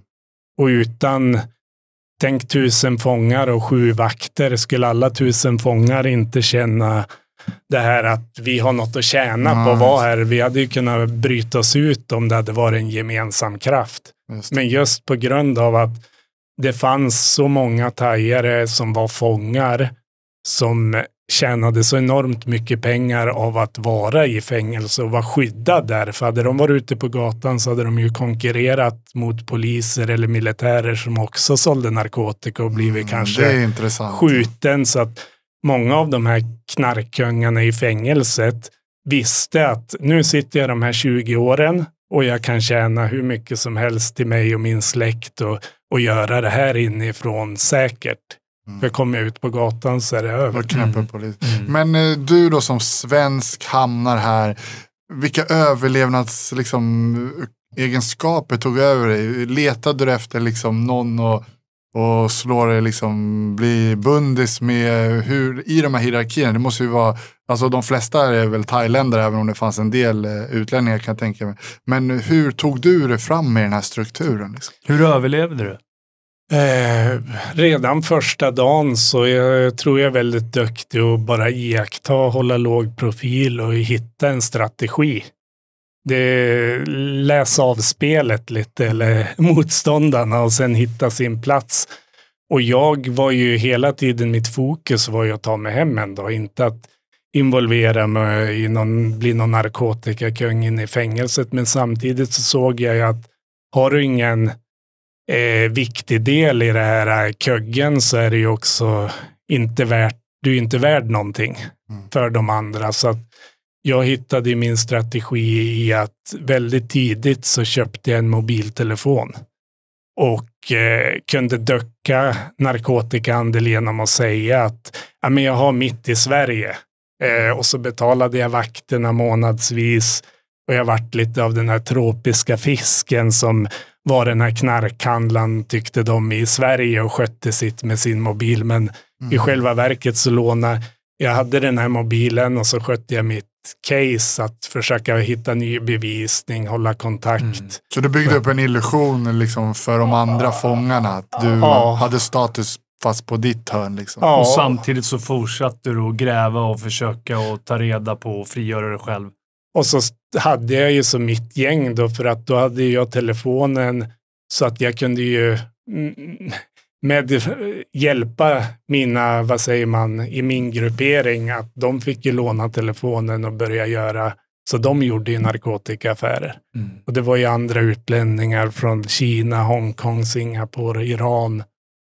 Och flera av de här... eh, Som du umgicks med och som in, Ja, ingick i, i så vi- gäng kan man ja. säga. Ja. För att liksom få...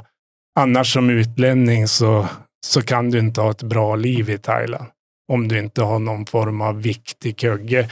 Och många av de här iranierna eller utlänningarna, de kunde ju förse thaierna med knark. Thailand är ju inte ett produktionsland Mm. på metamfetamin till exempel, men de är storkonsumenter. Just det. Så många av mina vänner kunde ju då kanske eh, ja, men förse thaierna eller smuggla in det och, och, och göra. Och det här är väl kanske moraliskt förkastligt att jag, att jag gick med på det eller hjälpte till att att göra det. Men Vad var igen, alternativet? det, ja, det, jag, jag tänkte lite så att för och klart, det var ju enorma kostnader i advokat, Mm. eh, jurist, gräva, överleva. Men Så vilken överlevnadsstrategi. Mm. jag såg ingen hade annan utväg. nej. Nej, något- Men Kim, kan det bildas riktiga vänskapsrelationer? Är det några av de här fångarna som du satt med som du anser var riktiga vänner idag?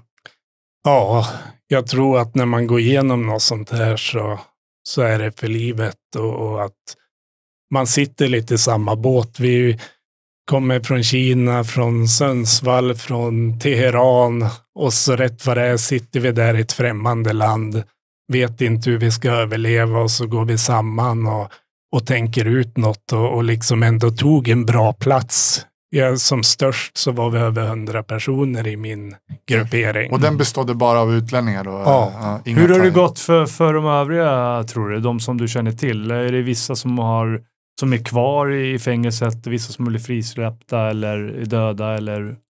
Ja, det är all, alla tre. Ja. Så vissa fortsatte med narkotikahandel och är väl vissa åkte in igen på livstid i andra länder. Vissa är väldigt förmögna idag och knarkungar i sin egen rätt. Har du kontakt med någon som är, du kan ha kontakt? Ja, jag har kontakt lite sporadiskt sådär och, och kanske eh, skulle besöka om jag skulle ha tid och ork eh, för att hålla banden och så. Men det, tack vare alla de här eh, man, bra kommunikationen vi har idag så är det enkelt Mm. med videosamtal och så. Var det någon som eh, blev, alltså någon som blev din närmaste vän? Så här, riktigt? Ja, det var mm, fyra stycken jag verkligen fick bra band med som i nästan nio år som vi var dag och natt. Ni höll varandras rygg på riktigt. Ja, Vilka var de här andra personerna? en från eh, Iran, en från Kina, eh, en från England och en Australien. Så det var mer att utlänningarna höll ihop mera och man blandade sig inte så mycket med thaierna då, eller? Nej, tha- thaierna är väldigt rasistiska och nationalistisk. Så har de ingen, det är inga man kan varken lita på eller eh, alliera sig med på så vis mer än affärsmässigt om de har någonting att, att Mm. tjäna på. Och det var ju så vi, vi, hade, vi skulle aldrig haft en chans och ett bra liv eller ens använda en telefon eh, om det inte vore för att thaierna tillät det. Nej. Vi var hundra stycken kanske som mest och de var 900 stycken. Vill du komma i form, förebygga ohälsa, jag skapar ditt absolut bästa jag. Oavsett vad din målsättning är och vart du befinner dig så har vi verktygen och kunskapen för att hjälpa dig att lyckas. Genom åren har vi coachat tusentals med människor med vårt onlinekoncept som innefattar kost, träning och uppföljning. Gå in på teamleadberg.com och fyll i intresseanmälan så hör vi av oss inom kort och berättar hur vi tillsammans kan göra en häftig resa. Men du sitter alltså nio år totalt i Thailands fängelse. Eh, vad händer eh, med ens personlighet när man har suttit så länge? Alltså förändras man för alltid? Och har du med en idag eller eh, posttraumatisk stress eller liksom har du hunnit bearbeta? Det är så mycket frågor när det Ja. kommer till den mentala och psykiska hälsan. Jo, det, det har jag ju diagnos på. Att, att jag har posttraumatisk stress och det har varit väldigt jobbigt. Eh, absolut.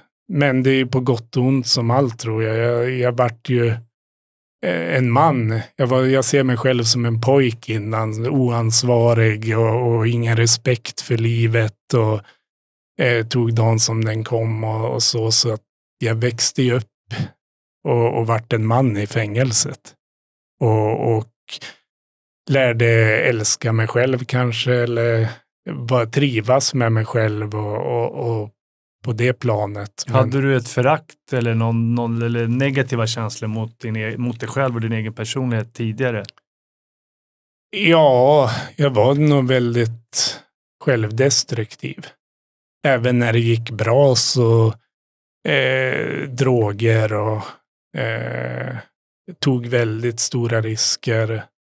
Eh, onödiga risker. Jag menar att bara involveras i det jag gjorde som jag åkte dit på är ju, visar ju på att, att man har mm, brist på, på vissa grejer, konsekvenstänk. Hur, eh, vilka insikter då, skulle du säga eh, är de viktigaste? Jag antar att det är en hel del insikter du hann få under nio år, men om man tar liksom djupa livsinsikter, vad, vad, vad hände liksom riktigt med dina värderingar och insikter om livet? Jag tror jag vär- värderar, jag såg ju så mycket död och sjukdom och jag, sa, jag har väl satt allt. Innan det här hände så kunde jag ju liksom, man kunde gnälla på att man hade dålig ekonomi eller någonting gick dåligt, en dålig dag eller något. Men när man liksom hamnar i en sån där situation och ser så, så allt blir relativt i förhållande till hälsa. Jag menar så länge du inte har cancer, så länge ditt barn är friskt, allt annat är ju skitsamma egentligen. Mm. Mm. Man får ett annat perspektiv på livet. Ja. Det kanske ger också, alltså just den där äh, att få vara med om sån fundamental grej som du var med om. Men ibland känns det som att man nästan vill, eller man, man ska kanske uppskatta liksom livet så mycket mer. Du har hittat en nivå nu kanske låter det som, där du uppskattar varje dag. Det är inte förrän du förlorar någonting som du Exakt. börjar uppskatta Och det är, du kanske har eh, 80 år här på jorden säger vi och eh, eh, det försvinner 10 år av ditt liv. Men de resterande 70 åren eh, kanske du uppskattar så mycket mer varje dag. Så det blir ju svårt eh, att säga att det skulle vara värt att sitta inne. Det är såklart, eh, det, så kan man ju inte säga heller. Men du förstår lite vad jag är ute efter. Att de här dagarna som du har nu upplever du och värderar och uppskattar kanske på ett helt annat sätt. Jo, och det, jag tror inte man behöver sitta i fängelse som du påpekar, men Mm. det kan ju vara att man har varit sjuk eller att ens barn har varit sjuk och, och överlever, att, att man just sätter andra saker i, Mm, i verkligen. Perspektiv till det. Mm. Och sen har ju du nu eh, din stämningsansökan, eller vad säger man? Du, du har stämt svenska staten eh, och på eh, ganska mycket pengar, över 40 miljoner. Eh, hur långt gånget är den här processen? Vad befinner ni er i nu? Nu är det frågan om sekretess, lite som en förrättegång att ska staten få behålla sekretessen på, på det de har? Eh, vilka papper ska vara på bordet under huvudförhandlingen eller den riktiga processen? Och det är den här månaden har Stockholms tingsrätt sagt att de ska besluta. Om det är så att de får behålla en viss sekretess, då betyder det alltså att du och din, eh, din eh, försvarare, alltså ni inte får tillgång till allt det material som ni skulle behöva ha tillgång till. Jo, då blir det ju väldigt eh, komiskt tycker jag att, att, att man ska gå in i en process eh, utan att få tillgång än en gång till all dokumentation. Vad har de att dölja? Varför Ja, skulle det- man inte det- kunna lägga korten på bordet? Det är ju den frågan man borde ställa sig i ett rättssamhälle. Att har man inget att dölja, vad, vad finns det sekretess på? Speciellt nu 13 år senare. Mm. Vad är det som ska Vem ska de döljas? skydda liksom? Ja, med. Men hela stämningen, om jag har förstått det, den grundar sig i att du anser att svenska staten har varit med och bidragit till att en människa döms till döden i Thailand. ja. Och Sverige får aldrig vara med och bidra till ett dödsstraff. Nej, eller ens vetskapen. Polisens främsta uppgift är ju att skydda medborgarnas liv. De har ju våldsmonopolet som man säger. Och bara vetskapen att de vet, även om de inte var direkt involverade, att de visste att min kompis åkte till Thailand, han skulle producera knark, jag kunde få dödsstraff. Bara den vetskapen i sig gör ju att staten är ju skyldig till att ha äventyrat mitt liv. För det enda rätta de skulle ha gjort var att dra in hans pass. Mm, det var Och- min nästa fråga. Ja, och säga att du får inte åka dit och säga till det och att så här får ni inte göra mot en svensk medborgare. Men eh, spelar det då någon roll om, eh, om det visar sig att eh, svenska polisen har medvetet eh, gjort den här liksom, provokationen för att kohandla med dig och utbytet mot DA.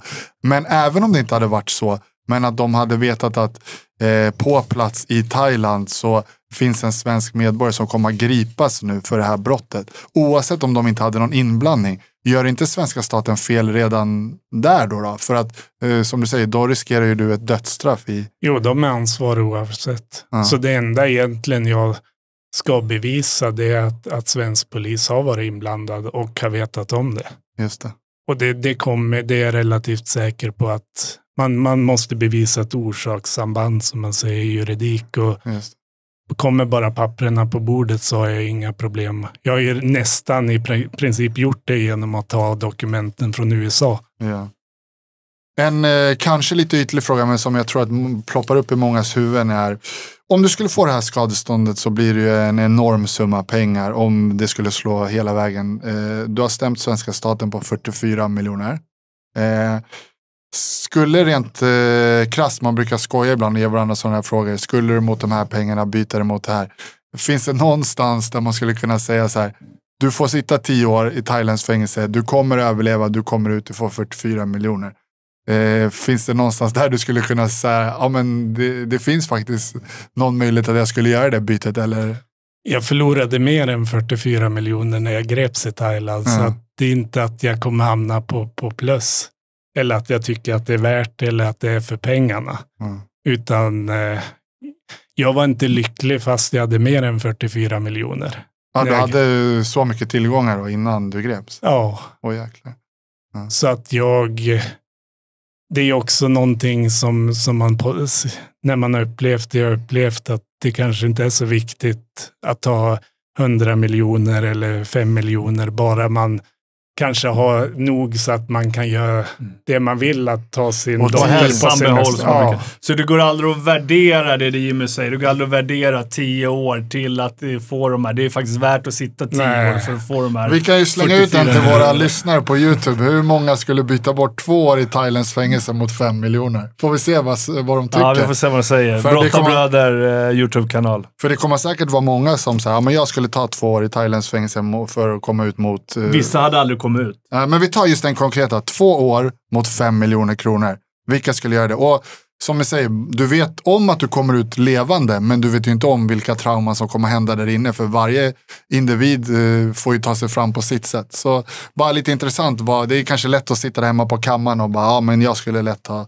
två år mot eh, fem miljoner. Men, Men. Kim, du, du nämnde där att du har fått diagnosen posttraumatisk stress.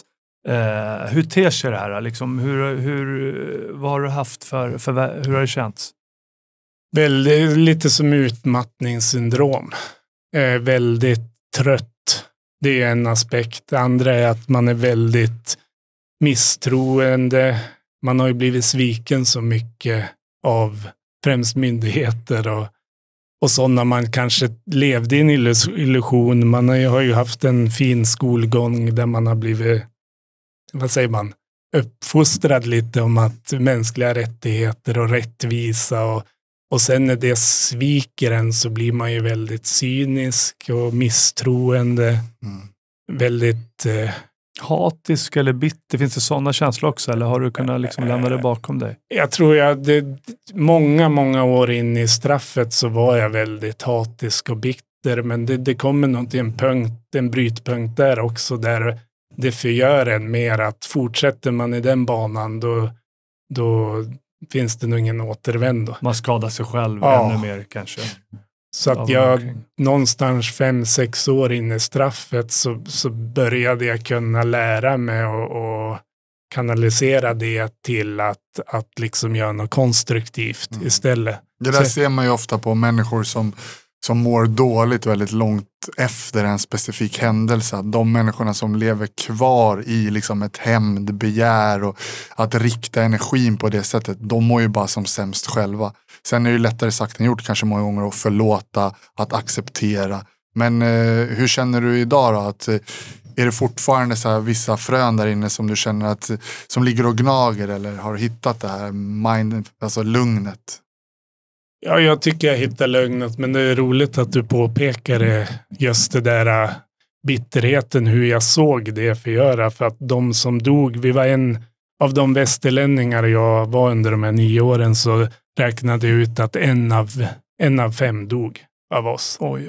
Och det jag egentligen har tänkt på, det var ju sjukdomar oftast, förutom överdos. så var- Infektioner av olika slag. Ja, det var infektioner eller brist på sjukvård, cancer i flera fall. Och, men det är liksom när jag tänker efter vilka, varför slog det på just dem så var det oftast det att de var väldigt bitter. Mm. Väldigt arg, bitter och på något sätt min teori. För det är hur många känner vi av, av våra, det är inte en av fem som liksom får cancer eller ens en av tio vi känner. Så min teori utan att ha vetenskapliga belägg det är att när hjärnan liksom, när man är bitter eller tänker negativt att på något sätt så påverkar det immunsystemet eller Wow. försvaret Ja, det också. finns det ju. Det, men, alltså det psykiska och den fysiska hälsan går alltid hand i hand. Och där har man ju sett att det till och med finns vissa typer av cancer som människor faktiskt drabbas av som kommer från tankar som oro, ångest och depression och så vidare. Mm. Så att kroppen själv dör kan man säga. Så att det finns det ju till och med Men det belägg för. är så intressant liksom Mm. det där att du, liksom, det blir nästan som en egen studio. Du ser det här sambandet verkligen mellan, okej den här gick bort, vilket mindset hade han, vilket fokus hade han och hitta liksom det här sambandet att de med positiva lösningsorienterade tankar överlevde men de med de här destruktiva liksom, negativa energierna som styrdes av kanske hembegär, hat eh, eller bitterhet. Då. Men också den insikten, men också därifrån att få en insikt och också kunna ändra sitt eget mindset. Det måste ju varit en process för dig. Ja, för det är ingen man gör så här, att nu, oj, jag förstår, jag måste tänka så här, men och bryta det här negativa tankemönstret. Nej, det är ju som sagt, jag satt ju nästan nio år så att det går inte att peka på någon sån här upplevelse att jag vaknar upp mitt i natten och aha, det är så här det, Nej. utan det, vet inte om det kallas tur eller högre makt som, som gjorde också det. Många, många små val eller tankar som förde mig i rätt riktning mot. På kan du ha haft nytta av ditt mindset och att ha idrottat i många år med hockeyn och allting? Tror du att det liksom det kunde... För det säger ju många att ja, men jag är tacksam mycket med mitt mindset och i, i andra sammanhang att jag höll på och idrottade, jag var målmedveten, jag siktade mot ett mål och så vidare. Kan det ha, varit, eh, kan det ha hjälpt dig? Det är jag övertygad om. Just disciplinen att eh, det är väl som ni också, man började träna fyra, fem års ålder nästan varje dag och man får ju en enorm disciplin och den kickade ju in för mig där också. Så varje dag så, mitt enda mindset var att jag ska hålla mig ren, jag ska få i mig den näring jag får, jag ska träna det jag kan.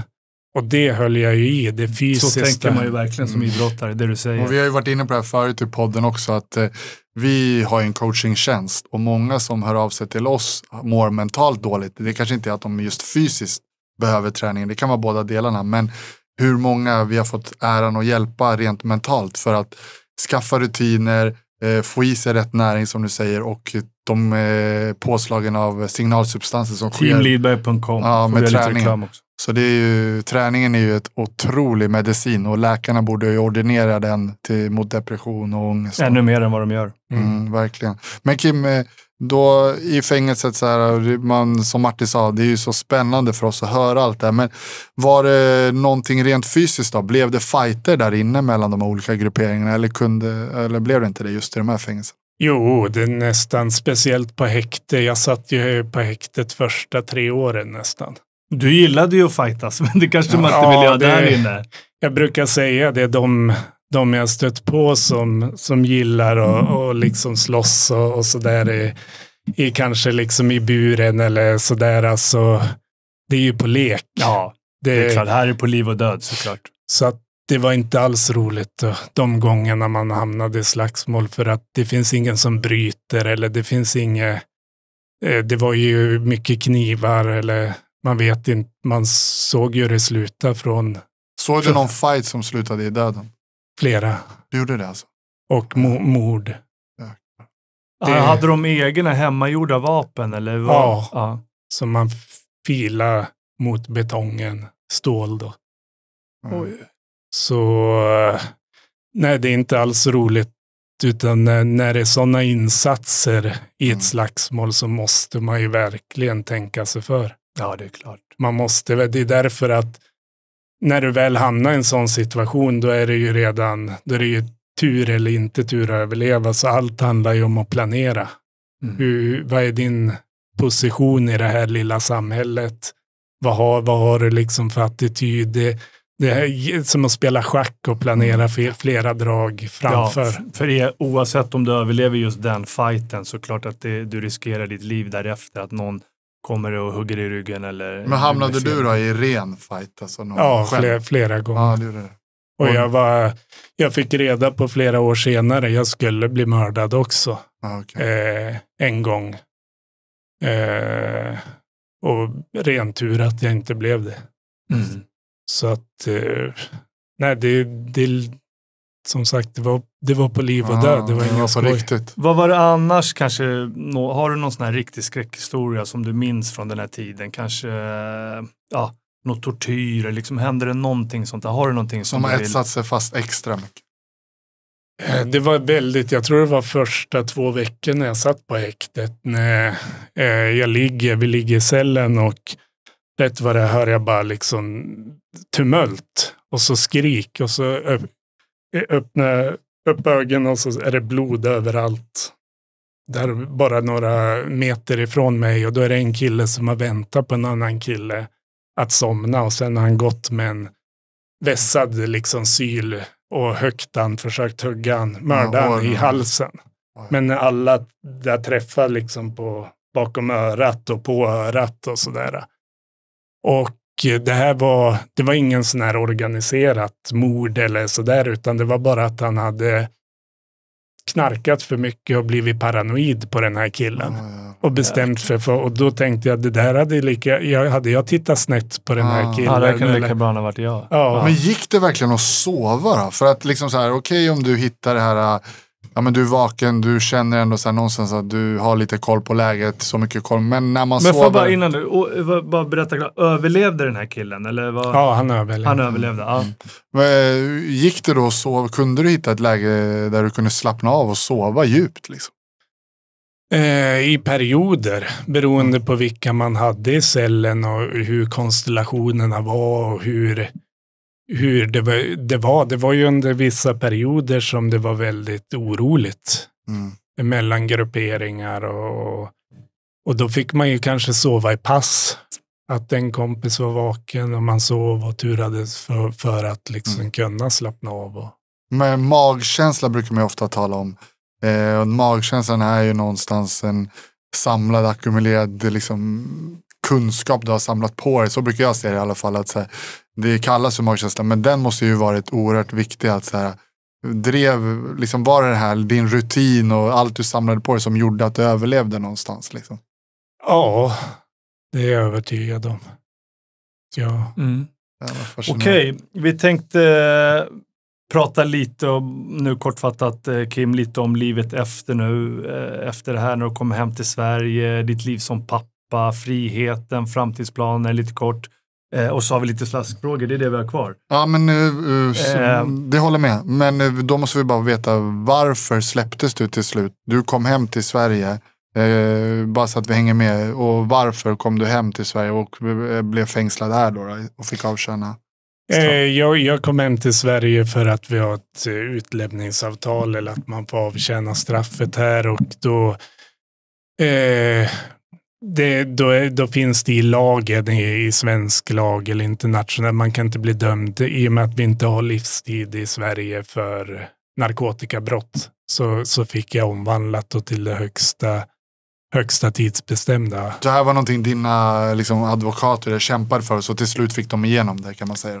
Ja, eller det, vi hade ju avtalet sedan tidigare så att det är ett internationellt avtal. Men så länge mitt fall var öppet eh, och så länge jag inte hade erkänt egentligen så, så var ju inte det aktuellt.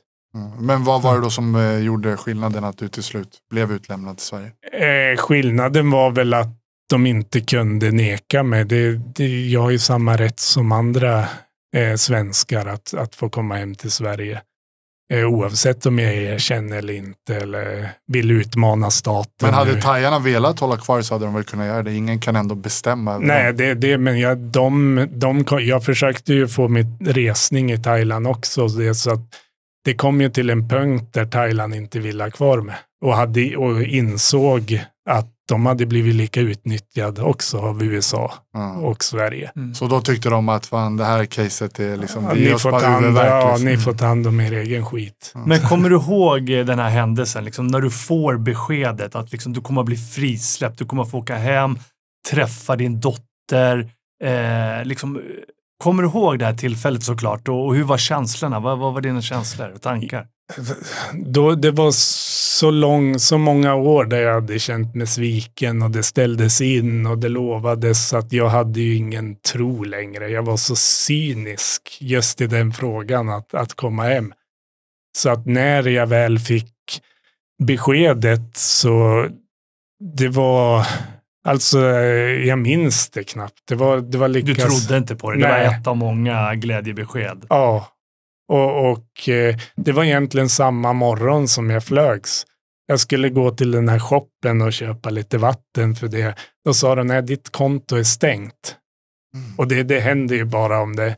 Ja, vad är det då liksom? Nej, men du får gå till vakten, han har något att visa dig. Och så hade han tagit ut från kopiatorn, då var det Norwegian Ah, eh, flygbiljetten Oj, imorgon, jävlar, imorgon alltså. bitti. Då måste det ha hänt någonting i magen. Ja, alltså. då det vart liksom så här, det bara lika surrealistiskt som här. när man vad heter det, greps. Att det var liksom bara, shit händer det här? Och det, Ja, det, ja, det är starkt. Fan vad starkt att se. Nor- du måste älska Norwegian. Och då fick du Ja, alltså otroligt. flyga hem, men eh, du var inte helt klar med din fängelsevistelse utan du skulle transporteras till svensk fängelse då. Han du träffa dina anhöriga? Fick du göra det innan? nej, det gjorde jag efter någon vecka på häktet. Då fick de komma och besöka dig? Ja, Mm. Just så jag satt ju nästan tre och ett halvt år i svenska anstalter innan jag släpptes. Och jag vart var benådad av Thailand, det var därför jag släpptes. Okej. Hur, Var det eh, Kumla du satt på då eller? Satt på Kumla, Mariefred, Österåker, Skänninge. Det måste varit en väldig kontrast att komma från de här thailändska eh, fängelserna som var fruktansvärda och komma in på svensk fängelse. Var det liksom, var det väldig kontrast? Får jag flika in där bara? För den här är ju en liten allmän myt ute i samhället att det är svenska fängelser är som ett hotell och de har det så himla bra det. Ja, det Så- kanske är så. Ja, Vi men det är det jag menar. Så det är en superintressant fråga. Ja. Här har vi ju en som verkligen kan svara på det. Eh, rent materialistiskt så är det hotell. När jag kom till Kumla så var det liksom wow. En egen, en egen suite. Maten var fantastisk. Det var liksom det materiella fanns där. Du hade lite andra referensvärden också Ja, såklart. och då satt jag ju där med, med massa andra som, som liksom väntade sju år, tio år och bara gick och gnällde. Eller liksom tyckte att det var hemskt. Jag Och du bara bli- yes, jag är på Sheraton, ta sviten. Det vart ju en väldig kontrast samtidigt som jag förstår ju dem. I deras Mm. situation så var ju det Ja, det fruktansvärt. I deras referens för mig var det ju här slutet på resan. Det goda, för de, de var det ju början på resan. Mm. Men eh, svenska anstalter, precis som du säger, det materialistiskt. Det finns mat, du behöver inte slåss om vatten, du har en säng. Fantastiskt. Får man Men dator, tv? tv har du ingen dator. Nej. Eh, men samtidigt är det väldigt, du blir väldigt institutionsskadad i Sverige. Mm. Du är väldigt isolerad, instängd, kontrollerad. Så på lång sikt så, så sätter det nog lika djupa sår att sitta Mm. 12 år i, i, i svenska fängelser. Som Jag har tänkt på det där med att mm, man pratar ofta om att så här, eh, man ska rehabilitera eller en brottsling, eh, en grov brottsling. Eh, Hur är egentligen det systemet uppbyggt i Sverige? För jag tänker så här, om man har begått ett riktigt tufft brott, då ska det vara kännbart. Du, ska- du ska inte sitta en jävla Sheraton-svit. Du ska, fan, det ska vara tufft där inne. Men däremot borde det finnas resurser för att eh, hjälpa dem som vill utbilda sig, som vill eh, lära sig ett yrke. Där borde det vara så här. Alltså de blir produktiva Ja, medborgare. får mycket kraft. Men Alltså, inte att det ska läggas eh, pengar och ekonomi på att eh, ja, men de ska ha en tv och de ska ha en var, hur är den här balansgången? Får man den hjälpen om man visar ett så här god vilja? Men jag vill gå den här utbildningen eller något sånt där. Jag tycker det finns mycket jag kan spy alla över svensk kriminalvård. Det är absolut, men som du säger så finns det, jag tycker ändå det finns en bra balans i Sverige att vill du ha hjälp, vill du lämna gängkriminalitet eller vill det finns hjälp, eller det finns liksom resurser du kan studera. Tyvärr har det blivit mycket sämre senaste åren. Eh, det var bättre kanske för fem, sex, tio år sedan. Så vi börjar ju gå mer och mer mot det här amerikanska, att det ska vara mer straff. Det ligger lite i den politiken tyvärr.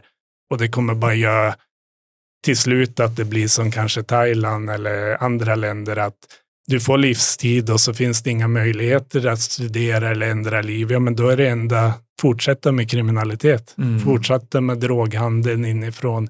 Det går aldrig att kontrollera med för hårda straff. Det måste finnas morot och piska, annars funkar det inte. Men Kim, du med din otroliga erfarenhet kring det här då, eh, som har suttit i fängelse både internationellt och i Sverige. Så då.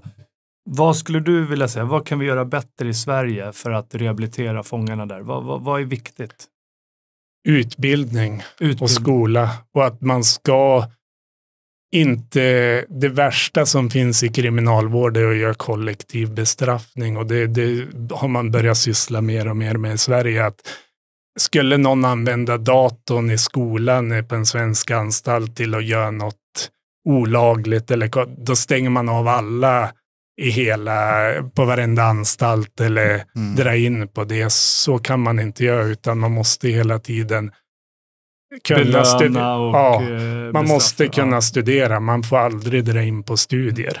Du verkar ju väldigt påläst när man hör dig prata om allt det här. Du verkar ju, har du läst mycket böcker och hade du den möjligheten även i, i Thailand och i Kumla och så vidare att läsa? Och, har, Ja, det, det hade jag. Ambassaden kunde komma med böcker och eh, så jag är väl självlärd om det lilla jag kan. Och du skriver ju faktiskt en bok nu, eller hur? Ja, Mm. Helt själv. ja. Ja, det ploppar upp så många frågor. Jag har två frågor Kim.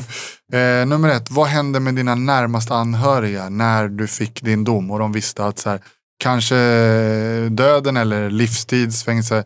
Vad hände med din mamma, pappa eller styvpappa och din, du var ju gift då vid den här tiden. Ett enormt trauma för hela, hela familjen självklart. Och ännu värre vart det min styvpappa gick bort några år in i, i mitt fängelsestraff. Fick cancer och, och dog. Jag beklagar. Och det kom väl till den punkten efter fyra år att jag och min exfru då höll ju ihop då, men när jag fick livstid i, i andra instans så, så valde jag att skilja mig. Jag tyckte att hon var bättre hon fick gå vidare. För hennes skull. Då.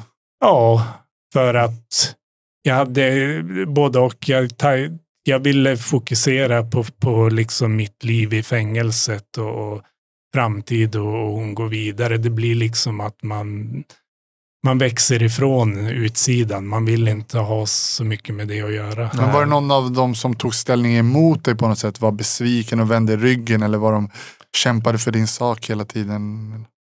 Självklart var de ju besviken, men det var, det var ju liksom någonting som bara sades en gång att men nu tar vi oss igenom det här. Var, var besviken vem, men nu, nu gör vi allt för och så pratar vi om det sen. Dina vänner, fanns de kvar eller försvann allihopa? Eller hur, hur såg det ut där? Dina gamla vänner?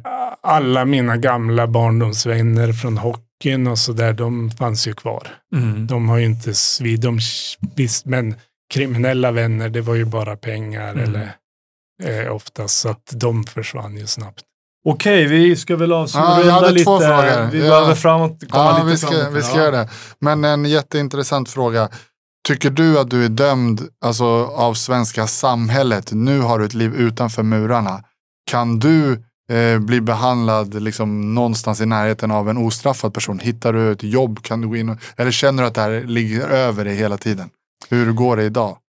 Eh, jag har ju inte provat och gått och sökt ett jobb utan jag har ju liksom eh, haft mina gamla vänner eller kontakter och eh, kunna få jobb och nu skriver bok. Så att jag känner inte att, och de andra kompisar jag haft eh, i Sverige som har suttit långa straff, alltså vill du bara ut på arbetsmarknaden eller liksom vill bli förlåten och ha en bra attityd och acceptera samhällets normer så, så är det inte problem. För man hör ju ofta kriminella att de kanske använder det som en undanflykt. Liksom. Men nu det är intressant att höra ditt perspektiv. Att du tycker att självklart så någonstans så är det klart att det finns lite överhängande men inte på det sättet att det skulle stoppa dig helt och hållet. Utan Eh, intressant att Men höra. det är också många som man själv känner mycket med kriminell bakgrund som tycker att det är väldigt svårt att och, eh, konkurrera på arbetsmarknaden med samma villkor som en som kanske inte är dömd. Eh, tittar man på två CVn och sen så ser arbetsgivarna fasiken, den här har en, en eh, dom, då, suttit i många år och så vidare, så, så väljs den många gånger bort. Kan det vara så? Ja, det, det är som sagt inget jag har erfarit. Mm. Jag tycker att jag har blivit väldigt väl bemött. Jag menar det enda illa bemötandet man får det är väl liksom på nätet och sådana här hatiska Mm. inlägg som man ändå inte bryr sig om. Mm. Men liksom öga mot öga och Sen kan jag tro att många svenskar tänker så här att en våldtäktsman åker in här i Sverige och kommer ut efter ett år ibland och att det är vidrigt och att man då blir föraktfull. Medan i ditt fall kanske man tänker omvänt att du har ju sonat det brottet du gjorde och kanske till och med var oskyldigt dömd och då har liksom så här du förtjänar den här andra chansen till och med mer. Så att i ditt fall kanske det blir lite omvänt. Så det är nog olika lite från från case till case också. Jag känner ju så själv när jag sitter med dig att så här, även om du skulle ha gjort mer än vad du säger så är det på den nivån att eh, du ändå har suttit nio år i ett eh, Thailands fäng- Du har sonat eh, även det brottet eh, tio gånger om. Så att eh, där får man ju en, en viss empati. Men vi brukar avsluta med lite slaskfrågor. Ja, va? men vi har lite om, bara om livet efter också. Det? nu när du har, eh, hur ser, fram, hur ser du på framtiden? Eh, första halvåret tog jag ju dag för dag bara och lite sådär svårt att se. Men nu eh, s- lugnt familjeliv och, och kanske driva något företag i framtiden och, och gå till ett bra gym och äta god mat. Det är lilla i vardagen.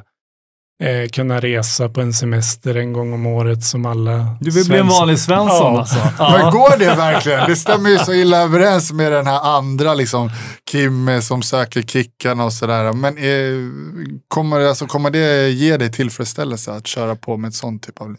Eh, Jag hoppas det.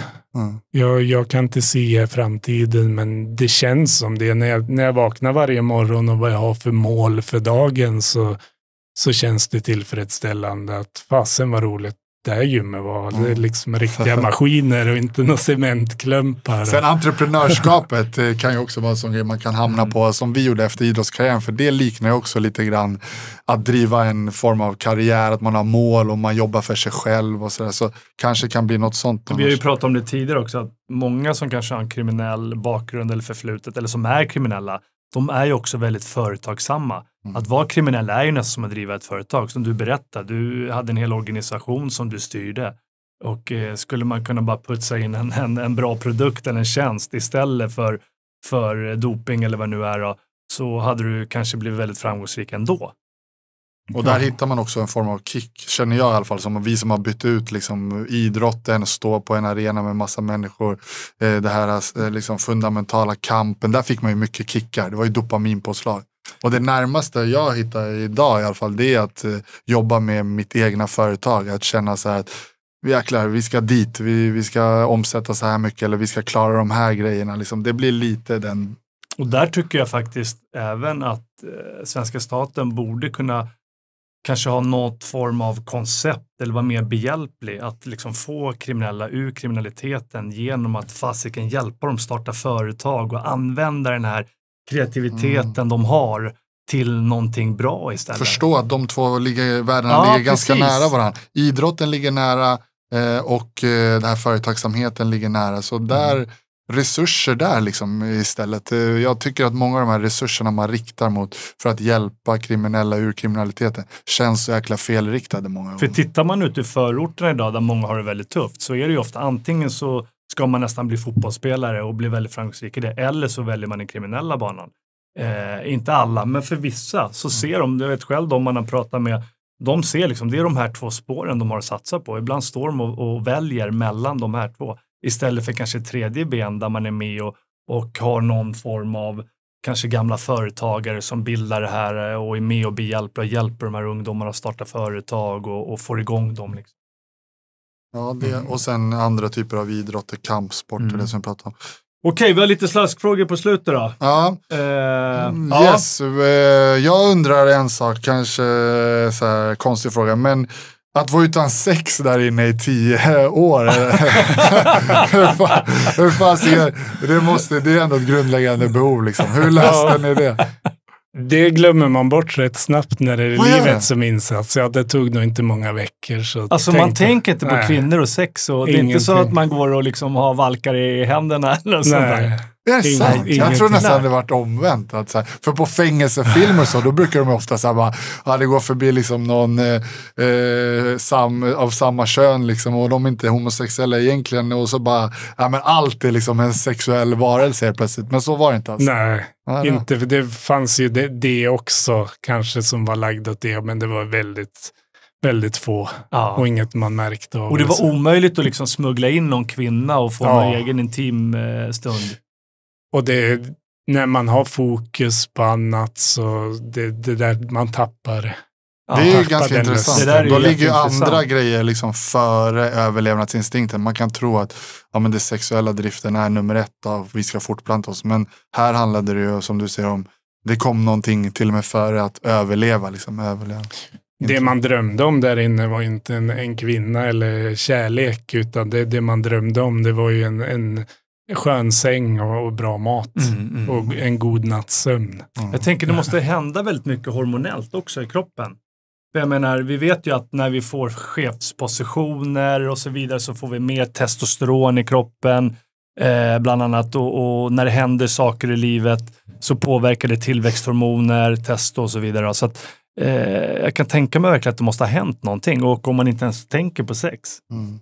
Att du fick mer östrogen då menar du? Och mindre Ja, testosteron? jag vet inte. Jaha, du såg Där ut som tog jag- nej, det var inte det var du som sa men... Klev du men- ut med höfter där, Kim? Nej, men, Ja, men- väldigt smal var jag. Ja, det var Ja, hur, hur mycket vägde du? 70 kilo när jag kom. 70 kilo. Och vad väger du nu? 87, 88? Ja, och 85 kanske, Ja. 84. mm. Jäklar.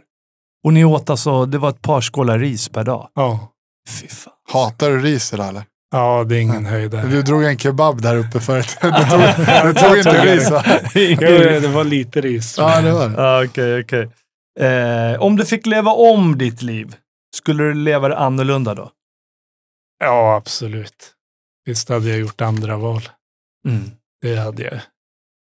Det, Okej, jag har en sista fråga. Många ungdomar där ute som kanske funderar på att dopa sig och bygga stora starka muskler genom att ta genvägar eller otillåtna dopingpreparat.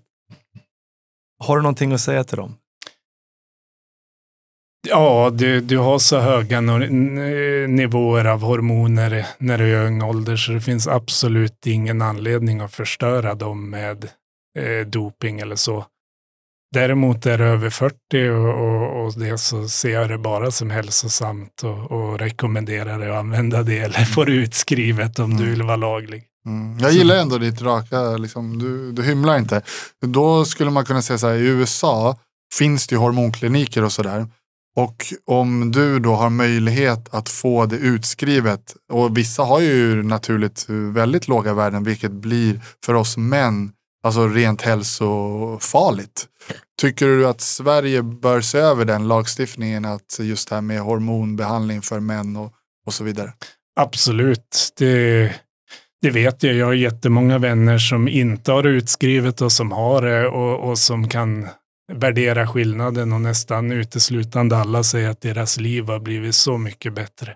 Förhållandet, energin och då pratar vi, det är liksom vanliga Svensson som, Mm. som har företag och familj och, och som har fått en helt annan För det livskvalitet. värsta som finns är ju inom idrotten när liksom vi har kämpat och krigat sönder för våra medaljer och man i princip 98% säker på att flera av de konkurrenterna man slogs med fuskade. Och det har svidit eh, många gånger i min hjärna, liksom att den typen av dopingfusk. Men nu pratar vi om en annan grej, alltså hur kan du optimera din hälsa och om du har sjukligt låga nivåer eller de nivåerna som dippar med åldern. Att kanske precis som om du har låga sköldkörtelhormon som kvinna så får du kanske hjälp med ett eh, preparat. Ja, till exempel som i sig har massa biverkningar också. Det finns naturliga grejer. Men skitsamma. Eh, det jag vill komma fram till är bara att så här, men just här så känns det som att det dras liksom över samma kant som den här eh, jäkla fuskaren inom idrotten. Och det, det blir alltid så svart och vitt här i Sverige. Jo, det, det är Sverige ett nötskal. Jag förstår ja. absolut det. Det är ju fruktansvärt att inte konkurrera på samma villkor. Ja. Så det är absolut inget doping, men nu pratar jag om välmående och tyvärr som det är att åldras. Mm. Eller, hälsa. Ja, hälsa.